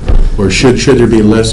It seems too dense for, for what it is you want to do, and it just, know, we just need to have some warm fuzzies that make us Absolutely. want to say, okay, and that's, that's the only reason why. So let me just explain a little bit programmatically where I'm coming from, because when we're talking about somebody who is homeless with a child, or a woman who's homeless, and they, we want to, we want a pl- a place that's going to be safe, we want a place that's going to be supportive, but we don't want it to be so comfortable that they're hanging out all day long. We want them out, going to school, going to work. So for example, we're not going to have cable. If they want to watch something, we can have some entertainment, but we're not going to have cable, so you can sit and and watch TV all day long. We want to keep people moving. Um, That's great, thank you. When I started out at Family Promise, once upon a time, we were in, I think Wayne and I split a room, didn't we? You were, you were at, we were in the. Yeah, you were on the first floor and I was on the second Yeah, floor. yeah, I I got the use of the first floor and the bathroom on the second floor, and we had three families at a time. Mhm. And talk about dense space, right? I mean, one of the rooms was my office, the other one was, and we, it worked because we kept people moving. We didn't want them to get so comfortable and so complacent that, oh, this is, this is great, we can stay here and never have to move on. You know, our needs are all being met, and people are giving us everything. So I understand when you might look at that and think, wow, that's, that's intense concentration, but also, the way it's designed, the rooms can be opened up, so if it's a larger family, they, they would be occupying two rooms. So it's not like each family would be shoved into one room. So we, we can accommodate, we wanted it to, that it could be flexible and we can accommodate larger families, or if there's some unique situations in families. So although it looks like a lot of rooms, it not necessarily going to be a one for one or three for one or whatever occupancy in each room. So in that, for me, programmatically, I want to make a place where people feel safe and, and warm and, and supported, but not where they look at this and they think, well, I can stay here forever. You know, this, I, I don't need, why, why move on? I- Yeah, sure. I'm, I'm getting all my needs met, you know? Um, That's not what, what the plan is here. We, we absolutely want to equip people and help them and give them the, the, the supports they need to move on. I, one thing I love about this community, doing this type of work for most of my career, our community will give you the shirt off their back, but we don't want to throw good money after bad. We mm-hmm. want to see that you, we're putting this into you, but you're doing the work as well. Mm-hmm. And so when I look at program, I think, yes, I want them to have a space where, you know, the kids can maybe run or play or whatever, but mm-hmm. not where they're going to feel like I don't ever have to move. Does that make sense? Yes, yes. Uh, Looking at the plan, you know, when I, when when we, when we look at this, and when I look at it, I see these as separate individual rooms, you know, just boom, boom, boom, all along the perimeter. And then I saw some rooms that were inboard, which had no direct access to the outside. I don't think that's legal in the state of Pennsylvania. Uh, And I just think, you know, part of your code, code study, your, your code requirements, and, and Mr. Lutz can handle that. Sure. Just don't think that they're, they're allowed. Uh, It just seems so tight.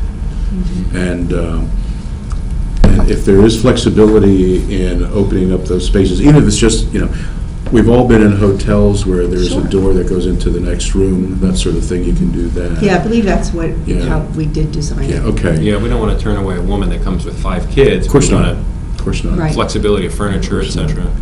Now, you're still planning on centralized food service, that the food that is served here does come from your main kitchen in the main building. Yes, sir.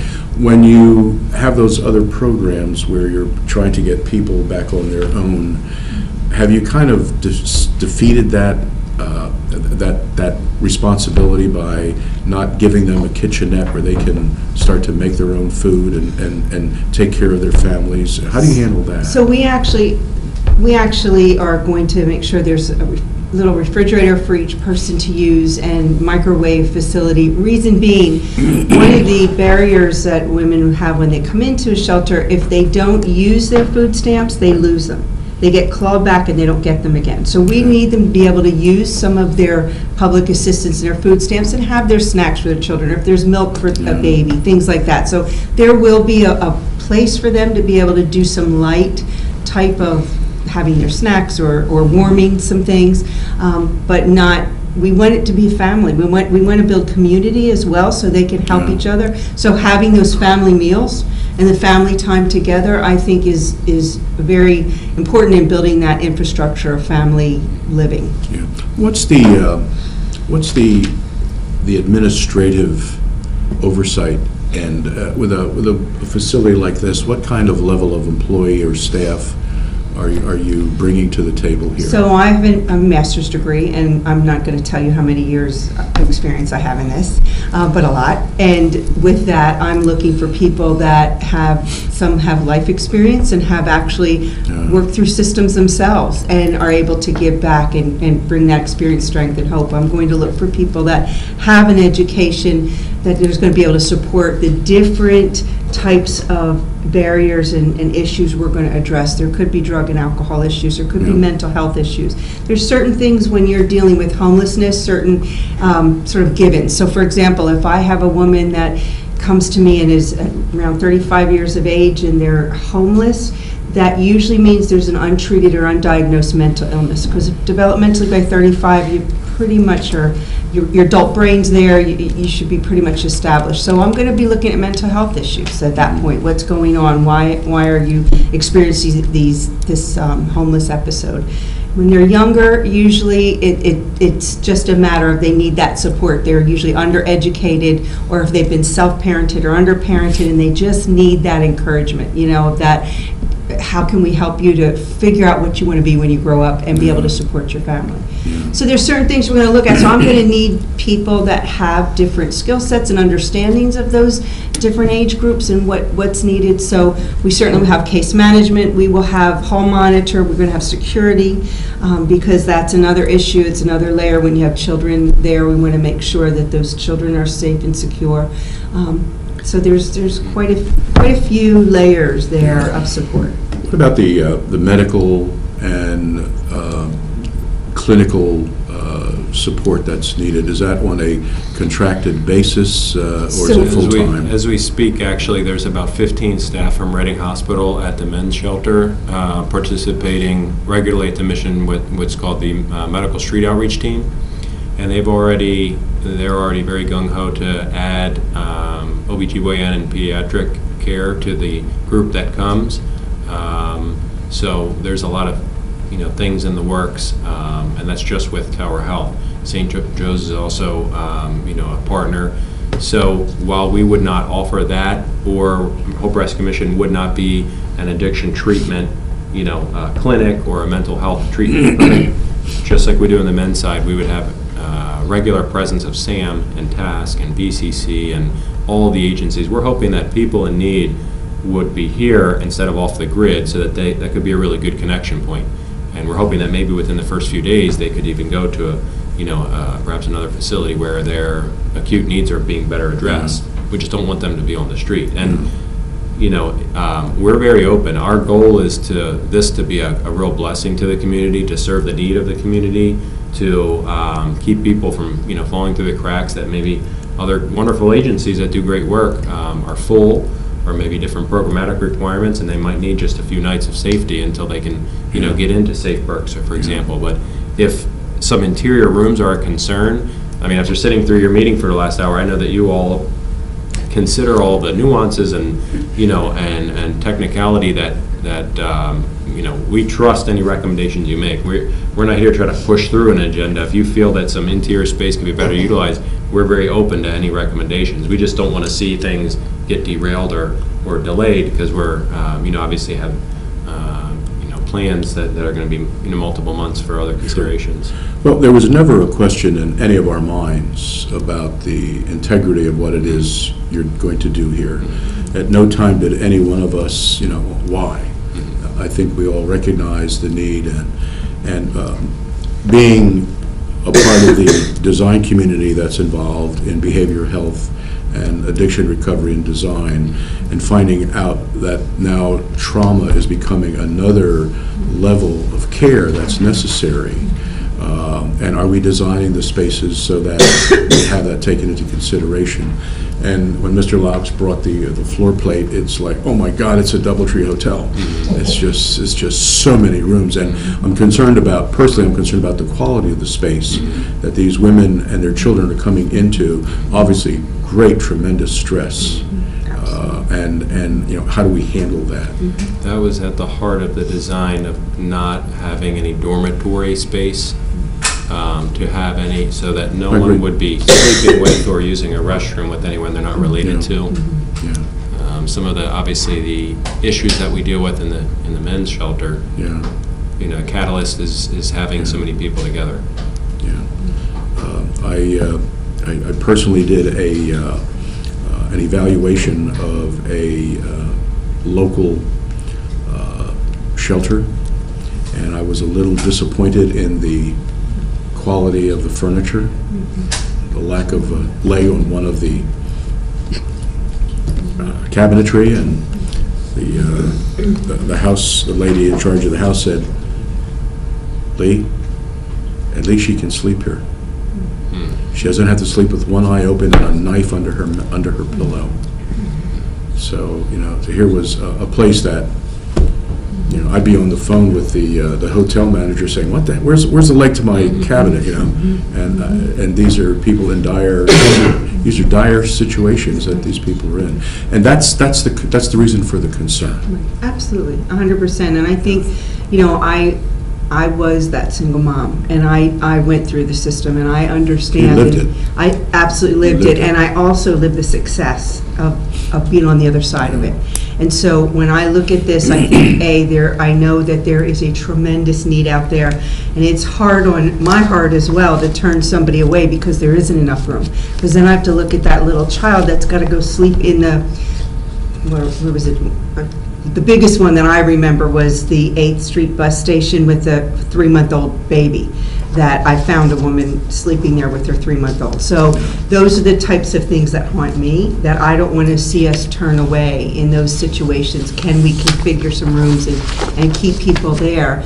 And give them the support and encouragement to move up and on, and say, I, you didn't have to stay in that situation. I certainly wouldn't want to have a place that isn't warm and welcoming and clean and, and uh, a space where they feel not only, not only feel that we prepared for them, Yeah. but that they feel the love of the God we serve.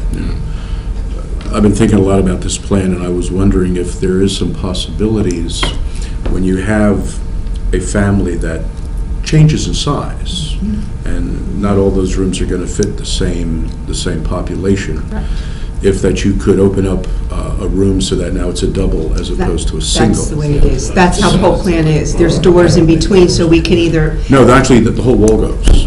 You can actually open up the room so that, say you take this corner room up here in the upper left-hand corner, and say that's the room where you have that mother and four children. And that that wall can collapse into the, uh, uh, the bathroom and just, you know, just by folding, it gets out of the way, so that the room is suddenly opened up. Uh, Again. So that you have some flexibility of space. Totally understand, which is what we want. We're looking at how we can accommodate as many different size families as possible. Yeah. So the average length of stay for a family would be a couple of days. Not necessarily. Necessarily. So uh, I think we're looking at, you know, looking at, okay, if somebody shows up at the door, we do a seven-day assessment with them. You know, how can we help you? Where are you coming from? Where are your needs? And see what barriers we have, where we can connect them in, and then continue to move. My goal is always to try to get somebody into some type of housing within 90 days. The problem is usually when we have children involved, it, there's a little bit more complication to it. So it could be up to six months that there's a stay, but for the most part, with Family Promise, I was very successful in getting people out in 90 days into housing. We were able to work at the back end of what's available and get them going. How's the, how are the educational needs of these children handled? How do you, how how do you, how do you take care of that? So there is a Homeless Student Act that is um, administered through the BCIU. Every 18, all 18 school districts have a homeless liaison there. By law, wherever a child becomes homeless, they have to be able to continue in that school district. So the school, different school districts would usually typically, let's use Family Promise as an example, sure. would send uh, a van or a driver to pick up the children at the day center on Fifth Street. They go to school in their school district, and then they'd be bused back in the evening. Gotcha. Gotcha. And that is a law, that, that they have to do that. It's, Okay. it's been probably about 10, 12 years that that law's been in action. Good. What about visitors? What about family coming to see? If my, if my daughter is there, am I allowed to see her, even if I'm a good dad? So- Say I'm not. So, my... I would always would have been a My good dad. rule of thumb, only because, and you talk about trauma, right? So that, that's huge, that, that, that tr- especially childhood trauma. Um, We find that it's just, can be too many triggers to have people come and, Okay. and visit. Um, We would, they're fine, you can go visit whoever you want out in the community, but just for the safety of all residents concerned, we don't have visitors. And who comes in, so when I do an intake with somebody and you tell me, I have five children, here are my children's names, those are the children and the people that we're going to serve. What happens if, and, and this is, this is all done at intake, you want to make sure you're collecting good information, because safety for those children is my first and foremost concern. A lot of times, what would happen at Family Promise, they'd come in, they were afraid that if they brought all their children, they would get turned away. So they'd say, well, I only have one child. And the weekend comes, and all of a sudden, three more children show up at the door, you know, that have been farmed out. We want to make sure that people, are- families are kept together, chil- that mothers understand you don't have to hide any of your children, bring them. Come now, and let's, let's work on, on your family together. But when you're here, you're working, we're working on your family issues. If you're going to go out and visit, that's fine, but to bring people in, it's just too risky for me. Is this a secure unit? And the reason I ask that question is because we're so close to the men's unit, and we always Yes. have to be concerned about predatory men. Absolutely, yes. And uh, how, how can you give us some level of comfort about, and and the satisfaction that there is that separation physically, so that our kids are safe being next door to a Yes. building that has men in it? Absolutely. So first of all, th- we have the front door system that is buzzing, in. we have to be buzzed in. The uh, play, I believe the play area is in back of the building, which is farther away from the men's section on the other end. Uh, We had talked about possibly maybe doing something with a security fence eventually, but I, we feel the way that the buildings are positioned, there's enough room between, there will be a rule that no man is allowed, no men are allowed in the unit. They can't come, on. it's just unless, you know, your child is there, a male child, but that's it. There will be no, no males there. Um, no visitors in that way. And we, as a staff, are very committed to making sure that if a family shows up with a father, the father can stay over at the Hope, the mother and children can stay with us, and we'll work on counseling and family Wow. reunification, because we believe in family. We think it's important, Sure. and we don't want to separate families, but we also want to make sure that everybody's safe Okay, and cared for. that's great. Do any other commission members have questions for Gwen and Rob? Um, I know, I don't know if it's still there, but at one time, uh, the rescue mission did have a room with computers in it for um, uh, looking for jobs and, and things like that. Uh, Is there any plans for that? uh, Our current setup in the men's shelter is uh, men sign out laptops, and they use them in our lobby area. And uh, we have mentors that come in, we have uh, workforce development classes with a professor from Thaddeus Stevens and other volunteers that come in. We'd love to mirror programs just like that, probably in a common area with 24-hour awake staff keeping an eye on the equipment. But uh, we find that the laptop sign out um, is a good program. Um, And uh, learning facilities was answered with the BCIU question. And then, um, yeah, on the plans, the rec facilities are not shown. And when Safe Berks did their plans, even though they didn't have the money to put in the rec facilities, they were still on the plan. Uh, Because, you know, you have five years to- to put those, to get those in without having to come back to us. I would recommend putting them on, on the plan first, or else you're going to have to come back to us.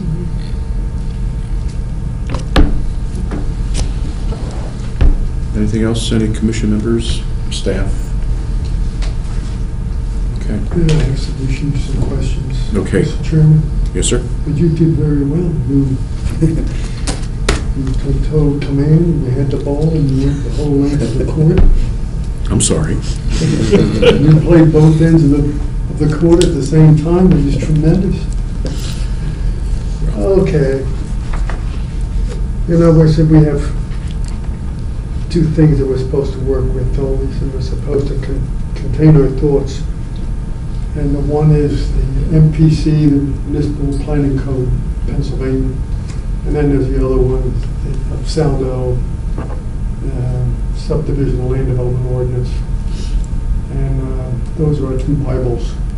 But both of those say somewhere in those instruments, and all other issues, and all other issues that pertain to what we're doing here. And I end up with those. Maybe because I, I don't know why, I won't go there. I end up with those. Before you got anything on paper with this, for finances, had you developed a pro forma for what you wanted to do? And do you have that printed, duplicated?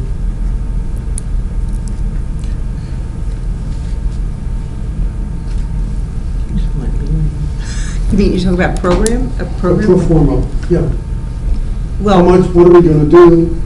What's our goal? sort of like a How much business is it gonna cost? Where do we have sustainability? What do we do with, what's the implication of the staff? Um, We get in a jam, how do we get out of it? How do we move on? Everything and anything goes into pro forma. Well, Certainly, these are questions that the board of directors have been asking all along, and, and yes, we've had those ongoing, they've asked me to write things, I've sent them to them. Um, They've been looking at all those angles as well. If you, you mean, did I, did either of us actually draw up a professional pro forma? No, not that I'm aware of. Where did you get assistance from? Um, I mean, you know, the professionals behind us have helped us evaluate um, the best use of the space and the, you know, most efficient budget. We were actually looking at new construction on the site, which came in at about double the projected cost. That's why we felt um, that it would be most prudent to use, you know, the current uh, under roof space that we have, which came in at about half the uh, projection. We have had numerous meetings. Um, Gwen's probably tired of driving up uh, and meeting with us all the time. But regarding programs, program implications, needed staff, um, there's a lot of variances, obviously, with the occupancy of the building. I'm not sure if you, you know, you- it seemed that you had some um, financial questions or, you know, programmatic things like that. Um, You know, we are looking at this as a, a big expansion, obviously, to what we're doing um, with, you know, a a rigorous budget, you know, with staffing. We, we want this to be adequately staffed and maintained and, you know, um, so there's a lot of implications. Um, We're not taking it lightly, um, but I'm not sure if you have any other specific questions, but we do have budgetary projections as far as our first step, obviously, of the building conversion campaign, and then the ongoing budget for our operations. Is the program driven by the building? Or is the building a means to an end? Well, I'd say that Satisfy your I'd say the campaign is um, dictated by the building and has been drastically reduced from what, you know, other options would have been on the site. Um, Once we get past that, um, you know, I I would say there's a certain base level of what we're going to be able to operate, I think, from day one. Um, I don't know, I can't really project, but I don't know that we would be able to offer um, the entire completed building as programmatic space from day one. Um, If it's going to take us a half a million dollars of operation budget per year to adequately, you know, uh, offer the services, I don't know that we'd be able to offer that on day one. Our board has looked at some different options of phases of completion of the project. We think it would be a, you know, a great addition to the community to have 10 of the rooms available. So if we start a building campaign and things are not going as successful as possible, perhaps we could phase in construction. Um, In our strategic planning meetings, we'd obviously love to complete all of the construction that's permitted at once, because we know construction only gets more expensive as time goes on. But if we complete the project, that does not necessarily mean that um, the programmatic space in its entirety could be, you know, utilized at once. Um, We're looking at a few different wings of the building, For- you know, for example, single wom- women might be in a certain area with a locked, you know, hallway door, and children would be a certain area. So I guess depending on how successful the building campaign goes and then the ongoing operational budget, that would dictate. We don't want to get out ahead of ourselves and have a situation where we're not safely and adequately, you know, meeting the needs. So certainly we'd depend on on Gwen and the staff that she will build uh, to make sure that that's being done prudently. I'm told that right, right now we have in excess of 70 501 organizations in the city alone that are providing services. uh, Some have no duplication, some do. And we've got um, Mary Shelter that opened a new facility in the last couple of years. We have uh, the other one down at Third and Chestnut, who changed their name. I can't Safe remember. Berks. Safe Berks. Safe Berks. Yeah, I I went through several years of women in crisis, and they had to change the name, and they're just trying to confuse me. But um, they have, there's a- an element of similarity with, with your program, the emphasis might be a little different, but they're taking care of um, women, one women with, with child, and um, no husband, and some of them no parents, they've been kicked out of the house, and, and then the other program is a little different, but we have more than that. Mr. Chairman, can I respond to that? My name is Jim Smith. I'm the Director of Donor Development. I'm in charge of the financial campaign. But one of the unique things I'd like to share with the group is that this is one of the few places where there aren't those type of restrictions. You mentioned Mary Shelter, where there has to be involved in pregnancy or small child, or Safe Berks, they have to be fleeing abuse.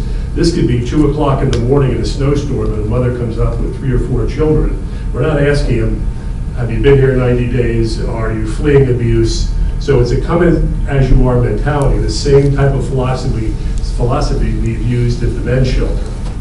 So, and there is a lot of interest, there, there's so much passion for this, we've already raised seven hundred thousand dollars, and we haven't even kicked off the campaign. Wow. So this is a very unique need, we had an extensive uh, strategic planning, we, we looked at the need, there, this is the most vulnerable population, uh, women and children and their teens. Are they all in the city? No, all over Berks County. They're all over the county, that's correct. And that these types of facilities are lacking in the county. You. Well, if if I can respond to that, though, one of the things we found working in social services, our, most of our social service hub is in the city, so for, to be able to house the women and children in the city makes it easier in terms of them getting to public assistance or to, um, able to, for job uh, coaching and things like that. If they don't have a vehicle, it, it, our public transportation can't always get them to those places unless they are in the city. So that's why we find it, that the concentration is just more convenient to be in the city. And just to respond to, I think, something you talked about earlier, in other words, did we just, you know, say, hey, we're going to build this building and they're going to come? You know, if we build it, they'll come.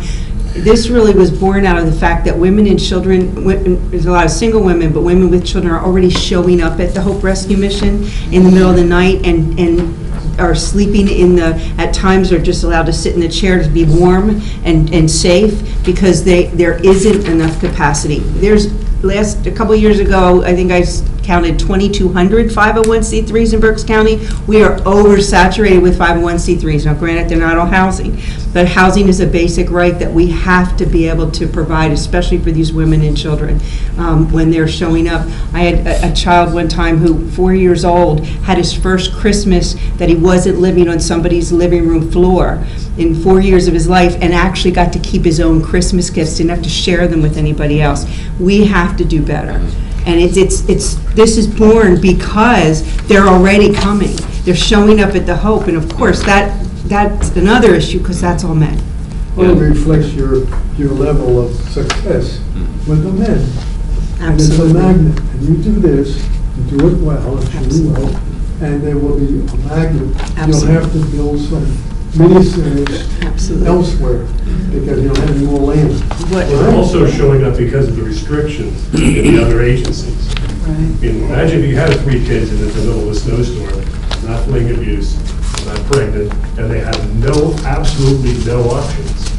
And yes, there is a great need for this type of emergency. Throughout the year, we're already, I don't know if the camera or microphone's gonna be turned off because I don't want this to get around the community, but throughout, throughout the year, we are already putting women and children up in local hotels out of the men's shelter budget because they can't get into such and such agency until Friday and it's Monday.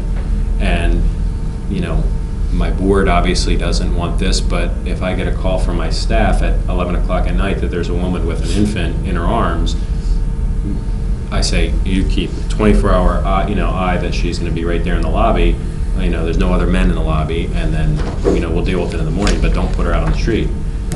Two weeks ago, we spent, uh, you know, men's shelter budget funds to put a woman and a few children, I can't remember how many children, never met her.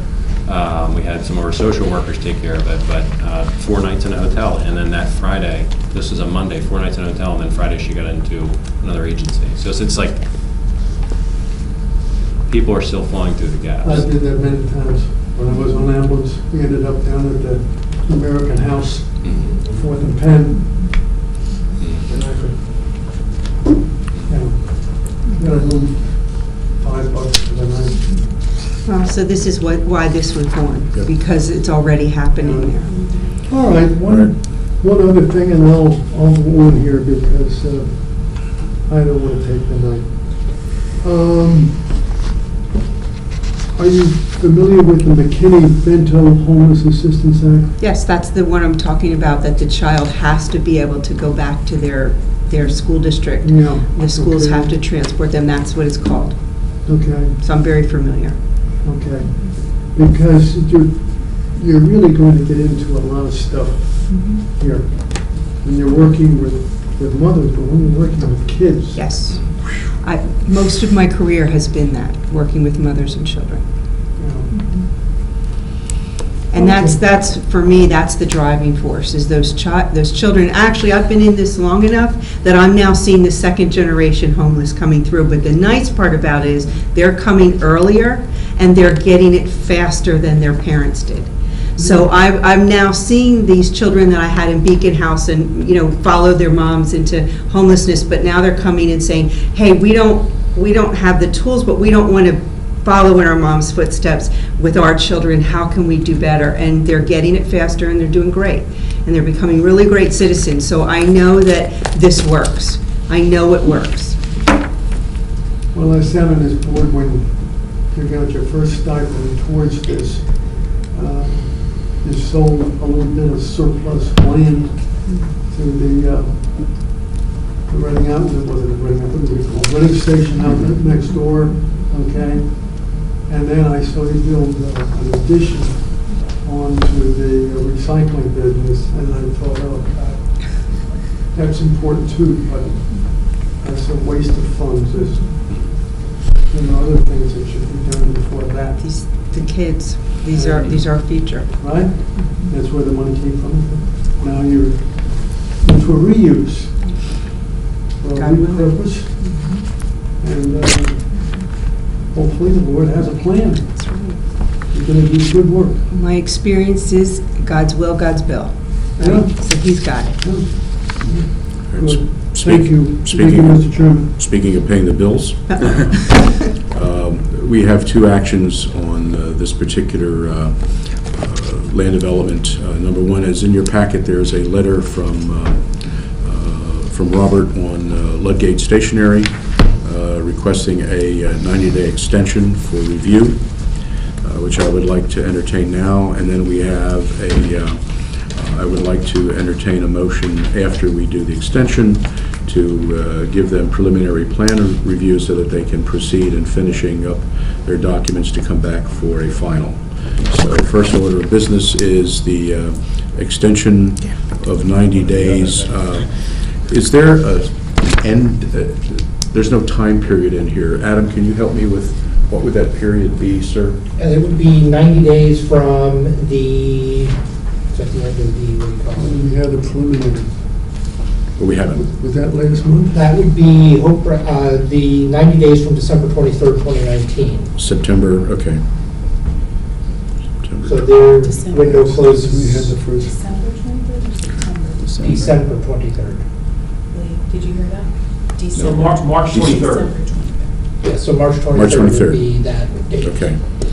So I'll entertain a motion that uh, we approve the extension, we we agree to extend the uh, review period to March 23rd, 2020. did you make the motion, Mr.? I did, I just made a motion. I'll second it. All right, second by Armedi. Uh, Discussion. All those in favor of the motion, please indicate by saying aye. Aye. Opposed? The motion carries. And are we granting preliminary approval tonight? or Not if we just. No, I don't think we can because of the modules. The modules are. Oh, the modules, okay, okay. Well, do you need preliminary approval for a planning module? I thought it's a final plan item. Um, That could be, but Tim's not here. Yeah. So- When we asked him, he said, no preliminary yet. It would have to be, the modules would have to be applied for and granted, which would require city council before we can move forward. For, for preliminary approval? For final plan, I can certainly see it, but not for preliminary approval. It's always been my experience that it's gone, with you have to have those. All, all the outside agencies are final plan, like Berks County, E&S, and whatever else, not, but not preliminary. Yeah, but that's, that's a, constitutes a conditional, we're not supposed to do conditionals. Yeah. based on At, what at- it's like. at final conditional, not a preliminary conditional, is certainly reasonable. I've been in front of the board before, I got preliminary conditional based upon planning modules. When we received the PennDOT hop and the E&S and all the rest of the guys. I've got that in front of this planning commission for countless times. After we were kneecapped by the judge or before? Not a final plan, a preliminary. Oh, And Mr. Chairman, if I, I just may add with the, the campaign, it is so critical for us to get this started in January. Because when you're a nonprofit, those first two quarters are critical. Then getting involved with the federal home loan banks, all of this is critical. We get this thing started in January so we can do a six-month campaign. We feel we can raise it $3 million in six months. But if we start going too much, too close to the end of the winter and the spring, then you get in a whole other ball wax with United Way campaigns. So it would be perfect for us to begin in January officially with this campaign. When do we have, Mr. Chairman, when are we going to schedule our December meeting in the first week of January? Is what we attempt to do to get around the holidays? Yeah, that would be January 7th. Then in January, we have two meetings. The first one is December's makeup. Mm-hmm. Right. And then January's is the last Tuesday, so that, that meeting would be in the first week of January, correct? For Correct. December? Yes. That's correct. Do we have a date? Did we uh, vote on a date for that yet? The seventh. The 7th of January. What does that sound like? Well, We're legal, and you are too. Yeah. Wait, we just don't want to, we don't want to clear something when one of the staff says that it's, that it's not been cleared yet. I won't speak for Ralph, January 7th is a fundraiser. In other words, we could get the, the thumbs up to proceed with the fundraising. Well, you would have preliminary approval, which gives you certain Yes. rights. Yes, okay. Does that sound, Rob, I'll let you answer that, sir, you're the executive director. Well, I would just rely on um, our engineer. The the modules, I guess I'm not understanding exactly the modules. That pushes you up four weeks.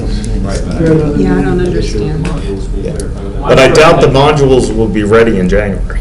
But uh, Well, I'm sure I can get Jim Tim to clarify that you don't need module approval for preliminary. So, and, and there might be something, there might be on, s- that, that Tim is hanging on to, that, why he's saying not, not go ahead. Probably if you talk to Tim, by January 7th, it'll be, it'll be taken care of. We would love to give you preliminary approval, but we are not going to override, we are not going to override what is, what staff has told us. I don't understand why we did an extension if the request was for a preliminary plan, because a preliminary plan would start a new tolling, right, of the clock, right? Preliminary approval, I I was mean. wondering the same thing, why would they even request an extension So- if Wait a they're minute. able to get the approval? Hang on, I'm not understanding what you're What, asking. wasn't that an either or? Why did we do, Because they have submitted a They preliminary plan, yeah, which is, they start with a sketch. Right. That's not governed under MPC. that's right. Their first official plan is considered a preliminary plan. Mm-hmm, Once they have submitted that, mm-hmm. the 90-day clock begins. Right, but I mean, if we had approved it You don't tonight, approve a pre- a preliminary plan. That is their submittal. That's why they approved, yeah, that's why they requested the extension. Yes, because the clock is ticking. There is no approval of a preliminary plan.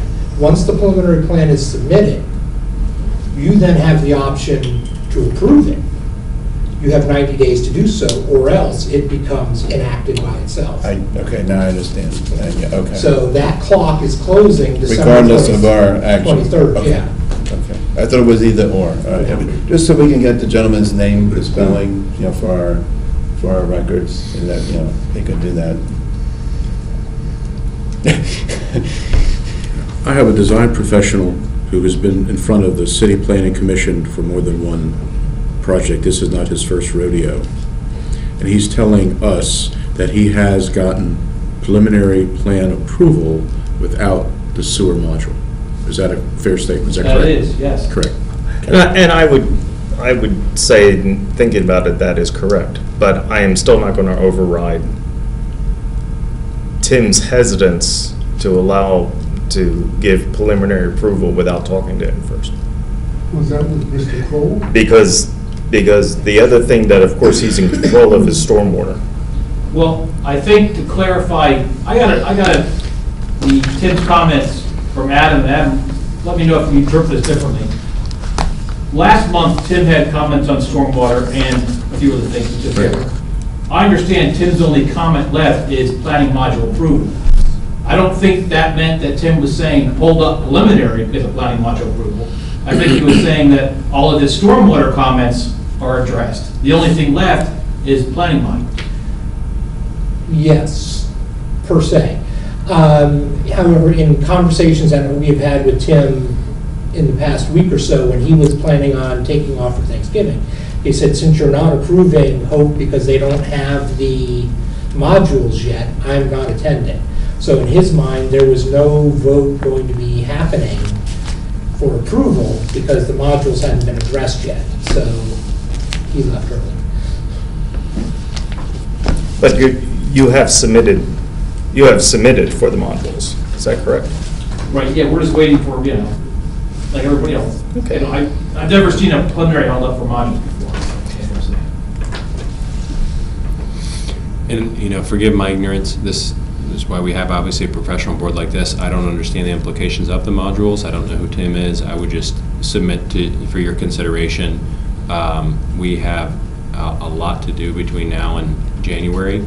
Um, We would love to be able to articulate that we're moving forward with preliminary uh, approval. Um, We would, you know, rely on Mr. Ludgate to work out all of the issues that would be needed under the modules. Um, We want this, you know, not to have any hiccups. Um, But I would say would put, as Dr. Smith was saying, a lot of constraint on, on our plans if we had to wait um, any more time. I believe this is maybe the second or third time it's come up um, before this committee, so I would just say, we're very flexible. Any concerns that you have, this is obviously not a final final. Regarding the interior implications, we're very flexible. We want this to be the best, um, you know, service to the community, so we don't have any women and children on the street. Um, You know, 125 years of service to the community, I would just ask if there's any way to walk out of here with preliminary approval, that would be a huge encouragement to us. If not, we trust your professional judgment. Thank you. Uh, Judging from the reaction and the, what I'm hearing is you're not going to get a majority vote this evening for preliminary approval based on, and I understand Tim's position. Uh, I'm going to take this up in uh, a retreat that we're going to have probably in the next 90 days because there are things that, you know, I want to make sure we're doing the correct thing. I mean, here's a gentleman who can say, beyond a shadow of a doubt, he's gotten this without, and then we're saying we're not going to do it. And uh, our next meeting is January 7. Hopefully, we can get, and you're not comfortable in that we'll even get the the the sewer module approval by the 7th. Oh, no, that won't happen until at least February. Usually it takes 90 to, 90, 90 to 120 days to do the modules. And who's the agency where, that's holding us hostage? I think that's internal, isn't it? It's city council, and doesn't DEP have to review? It? Oh, yeah, DEP needs Yeah. a, needs a review of it. But city yeah. council also has to approve. Yeah, because of, because, well, City the council- modules we're talking about are sewer modules. And because the city is under an edict from the federal DEP, uh, they have to approve it. And just, uh, just for the record too, we're talking about, uh, Mr. Tim Kroll is uh, our staff person for Public Works Department. That wasn't stated, so it's clear for the record. We, we did a lot of things years ago. Fine, no problem. We had a court situation, not in ancient times, uh, four or five years ago. We had it put to us. I was in the docket under five minutes, and it cost the city forty-eight thousand dollars.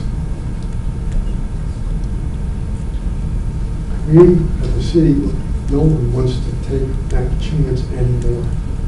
And I can, I'll, I can tell you that which case it was. It's the damn water plant out there in fifty acres, sitting there. Dana South site. The- The Dana South site. They're Yeah, Okay. yeah. All right, well, to keep this moving, And so, are you finished there? I'm, Okay. So, because we do not have an approval of sewer module, and we don't have Tim Kroll here this evening to give us a, uh, a progress statement, uh, we're not going to bring a motion forward to give and grant preliminary approval. Well, I'm not going to bring, bring a motion forward. I don't think, I don't think it's appropriate to, to um, override staff's expectations without, without talking to them. But it, but it would be in order to bring a motion forward and vote it up or down, because we, we have a request for a preliminary plan, so, is that right? Or we can move to table it. Well, I'm not even sure they've met all the, met all the requirements of the, of the Right. preliminary plan. Right, so where do we stand? Mr. And it's Ludgate, been what's a your- while since I, since I've read all the requirements for the preliminary. Mr. Ludgate, plan. what's your opinion of the status of your research and documentation that you've submitted We have to act on to this. date on this project? Do you think that, in your opinion, professionally, that is ready for preliminary review and approval? Certainly. I have provided the land development plans. I've addressed the comments from Adam. I've addressed the comments from Tim. I've addressed the comments from the fire marshal. We've Prepared stormwater management plans, erosion control plans. Um, Yeah, this is uh, certainly, in my opinion, ready for preliminary, preliminary plan approval, absolutely. Okay. And at my request, when Mr. Laux was here the other month, and I was questioning him on some of the programmatic issues within the building, he was gracious enough to invite you to come to this meeting, which you did, and you gave the commission and me personally a much more solid level of comfort that I did not have before. So, did we approve the, it's been so long since we voted on something, did we approve the extension of time? Yes. Okay. Then I would like to make a motion that we grant preliminary approval to the Hope Rescue Mission pending sewer module review and approval so that they can move forward and proceed with their capital campaign. I make that motion. Is there a second?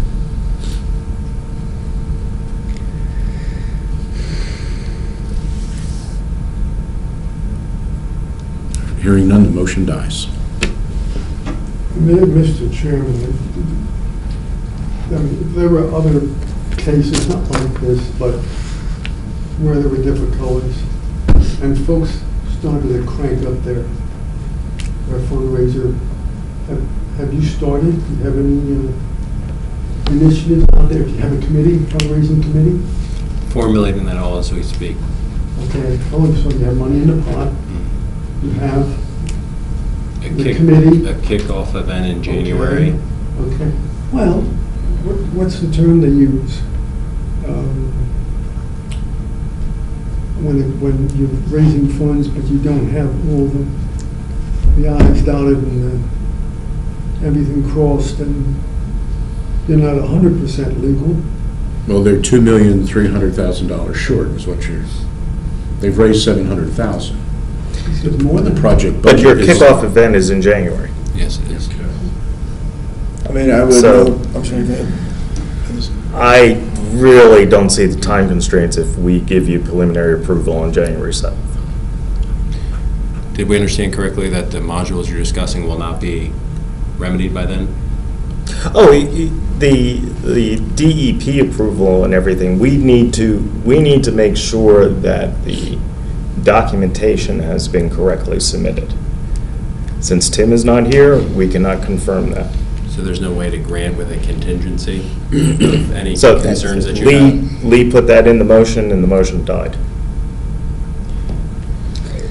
I would note, Mr. Chairman, if this is of any help for the applicant, that although that we are reluctant because of legal advice, uh, more than advice, or the ruling, I should say, to grant conditional approvals, that there does, there was no objection to the substance of this plan. Our only delay was because of the final approval from uh, the Public Works, if that helps the applicant for confidence level for fundraising at all. Yeah, there's, it's something that we have to have in the inventory of documentation we don't have. And based on that, the motion died. But the precedent has been set that other projects have been granted preliminary approval without the sewer module. Yeah, but I'm every just saying, project but- needs, needs a sewer module, I think, yeah. Yeah, but as I said, we do not have confirmation, we do not have confirmation from Public Works that, that the documentation has been properly submitted. And I am not comfortable. Mhm. um, I understand where you're coming from. yeah. Yeah, And the understand. conditions were not Because, the same. because the. You didn't have um, MS You know, I, I misspoke as, I misspoke uh, earlier. No, we don't need the actual module approvals, but we do need this, we do need the submission, proof of the submission. As Just like we need proof of submission that it went to E&S, we need proof of submission that all the, um, all the external agencies have been, have been contacted and those, those um, applications have been submitted. As Winnie the Pooh said, we have met the enemy and it is us. We didn't have MS4 years ago to contend with. Right? We don't want to be in violation of that. That's federal. They they would come on us. Where they come from, I don't know, but they would, seriously. Well, uh, there's nothing more that I believe we can do, other than uh, we've assigned, assessed our next meeting of January 7. And the only thing we're waiting for now is the supplementary, supplemental data that we require to give preliminary approval and then final approval. Yeah. And, and I would even, I, you know, once, once we have that, uh, that information that we're looking for, Tom, I would accept a letter from Tom asking for preliminary approval, so he doesn't have to come January 7th. And then we can just write him a letter back, and then uh, the uh, fundraising gentleman will, will have his letter of proof, and when he goes to his kickoff event, he can say, hey, look, we're a major step, because the preliminary plan does give them, does give them certain, certain rights. um, That, uh, um, certain rights uh, towards, towards final approval. Rob, in the grand scheme of things, what were you looking at as a target date for actually starting physical construction of the project? We're hoping summer of 2020, but obviously the building campaign will dictate that. Okay. So you're not going to turn over spade of earth till you have 100% money in the bank? No, because even if we go out and raise the 2.3, that doesn't mean we'll have it in the bank. We anticipate multi-year pledges Okay. from So you can do different pledges. businesses, and we'll have to finance. A big implication for us, and probably, I know it's not really a consideration of yours, is with the subdivision plan and the application for private bank funds, we have a lot to do between now and January regarding um, having an unencumbered deed and being able to make applications for funding, et cetera, which is, you know, we, we we have a multi-layer, multi-month initiatives to kick off ASAP. Perhaps it was ignorant of us, but, you know, uh, maybe we didn't understand correctly. We were hoping for preliminary approval uh, well in advance of even tonight's date. Um, So we have a lot of things that are on hold. Okay. Well, what I'm going to do is, as the chair of the planning commission, I'm going to talk to the law department and see if a letter under my signature stating that everything that we believe necessary for submission from the civil site engineer has been received. The meeting tonight cleared up any, any ideas or questions about program and the internal workings of the, of the building. Uh, There's nothing that I see that's going to keep Mr. Locks from proceeding with doing construction documents for the renovation. And if that helps in the fundraising, that we are on record, that these are things we are still waiting for. Had we had them, we would get preliminary approval. But I support what Wayne is saying, I understand. Uh, We certainly don't want to go out on a limb and embarrass ourselves and then embarrass you, uh, and it also embarrass the city. You know, It's something we have to take care of. Uh, So with that, lady and gentlemen, I just want to say thank you very much for coming. Yes. Thank you. I appreciate your taking the time. Whoa, it's it's a lot of time, but uh, thank you all very much. Gwen, good seeing you again, really. Thank you. Thank you all for your service. Thank you. Get the names. D-I-D-D-E-N. Okay. Commission liaison report? Uh, The only thing uh, I have to report, uh, we did touch on it earlier, um, Adam, David, uh, Lee, Phil Rabina, and myself uh, met on Friday? Is that Friday? Yes. Yeah. And uh, to, to discuss the, uh, to discuss the uh, zoning changes that we voted on earlier. The, um, it was actually a very helpful meeting because for the first time in 15 years, I actually got to hear some input from someone on the zoning hearing board about some of the things he thought would be necessary for, um, for, for changes in the, in the zoning code. Uh, The reason that this is important is that the zoning hearing board, or, uh, you know, according to the MPC, they can't make changes to the zoning themselves. Um, we- uh, We have to take care of that. Um, So, it- and of course, with uh,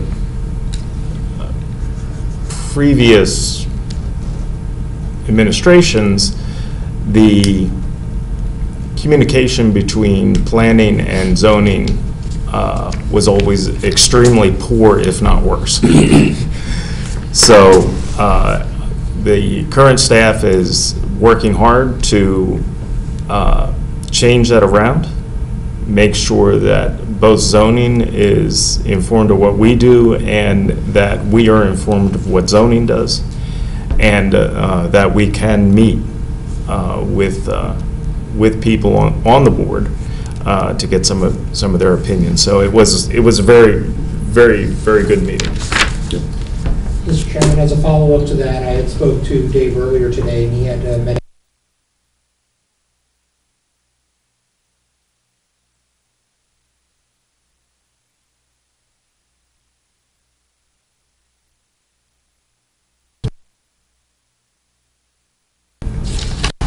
I just, uh, oh, do you want to say something first, Mr. Chairman? I was just going to ask, why is something that I believe is a zoning hearing board issue on our agenda? Why did we have to look at conditional uses? I don't know. I should have explained that, because yeah. conditional uses, since they already changed the use and zoning in an area, uh, have to be approved by the planning commission. Really? Since we have to make sure that it conforms not only with the comprehensive plan, but any other plans that we may have for that area and region. So it's more or less a double check on what's going on inside that area. Okay.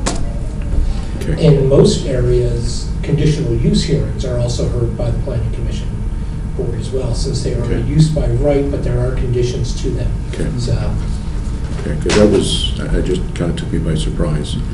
Uh, The only thing I was going to say, uh, uh, Will, was that uh, the next Blighted Property Review Committee meeting is March of 2020.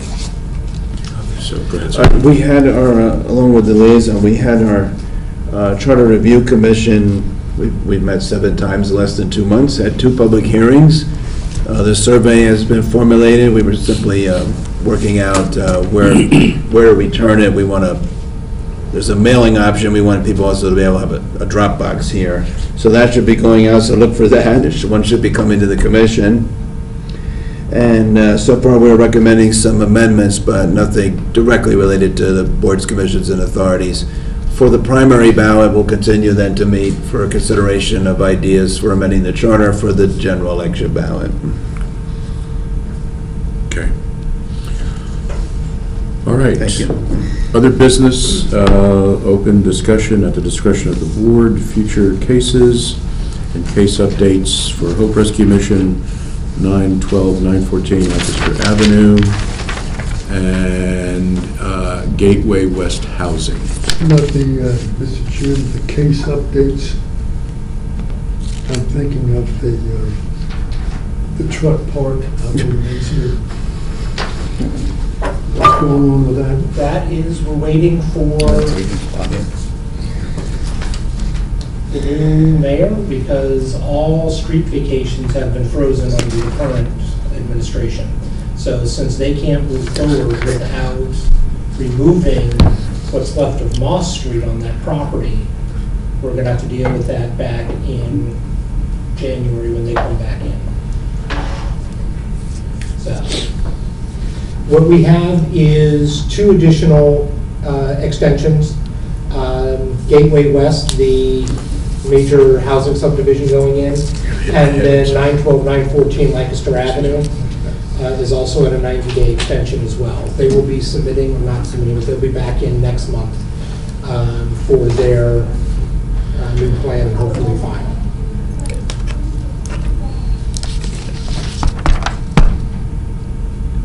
I move to extend the preliminary subdivision plan for the Asian Spa at 912 and 914 Lancaster Avenue.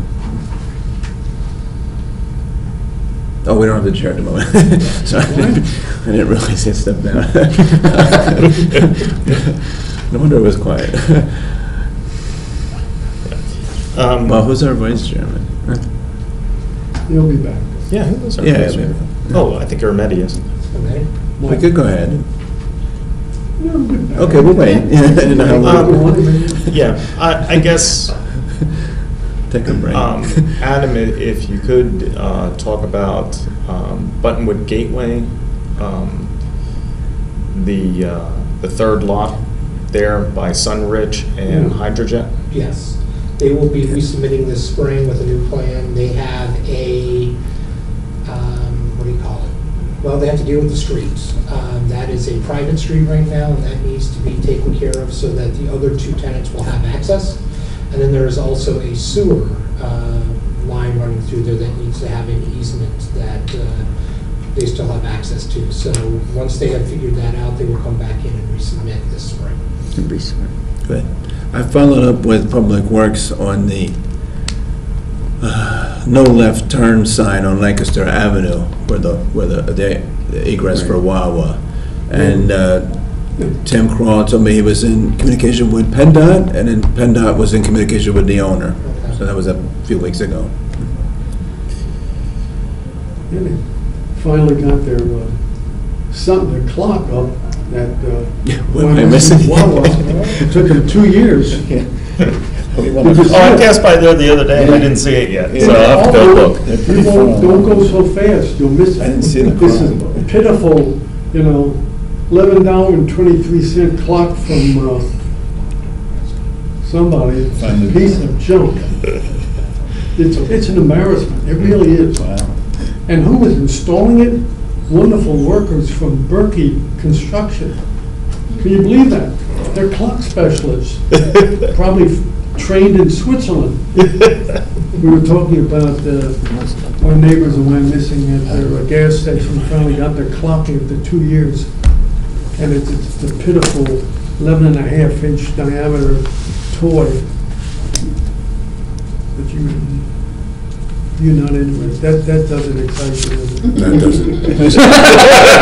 Doesn't at all. Mr. Chairman, I move the uh, um, extension of the preliminary subdivision plan for Asian Spa, 912 and 914 Lancaster Avenue. Is there a second? I'll second. Second. Discussion. All those in, all those in favor of the motion, please signify by saying aye. Aye. Opposed? Motion carries.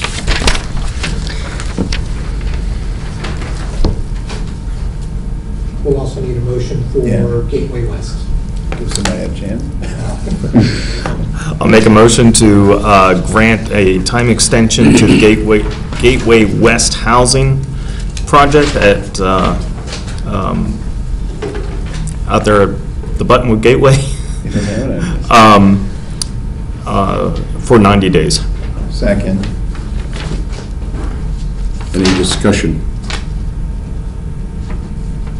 All those in favor, please indicate by saying aye. Aye. aye. Opposed? Motion carries. I do have uh, two questions for the commission. The first one being plans that were conditionally approved and awaiting approval of the letter from legal for Matos, do they need to be reaffirmed?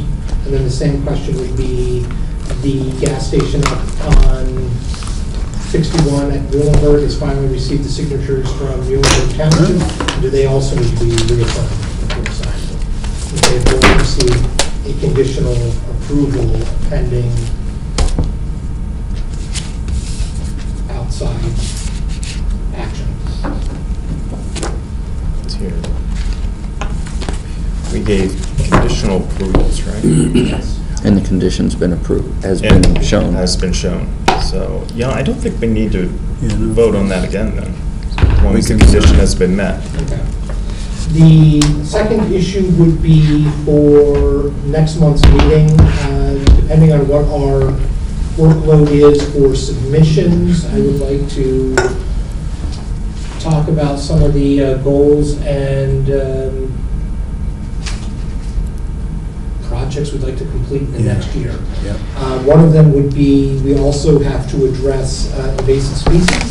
So the arborist would like to come in, we're going to consult with Tim first to figure out what we can do to double dip, so to speak, with the, um, the plants and trees for stormwater to receive a lot, uh, better, a better discharge. um,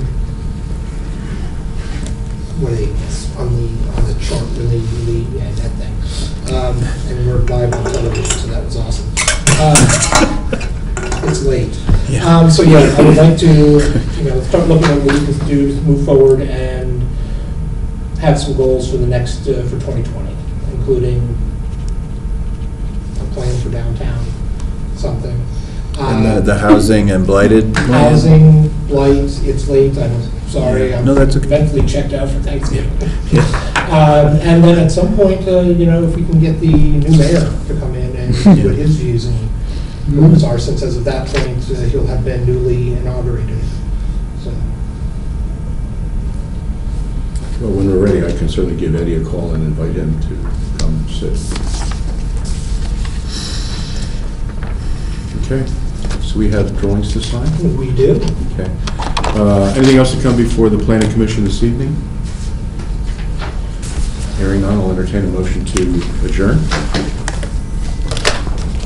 I move to adjourn. Second. All those in favor, please indicate by saying aye. Aye. Aye. We are out of order. Thank you. January, so Mer- happy Thanksgiving and Merry Christmas. Thank you. Hit me enough. Get up and stretch a while. We didn't have an intermission. I remember a teacher we had by the name of Joe Plank. Joe Plank, you bet.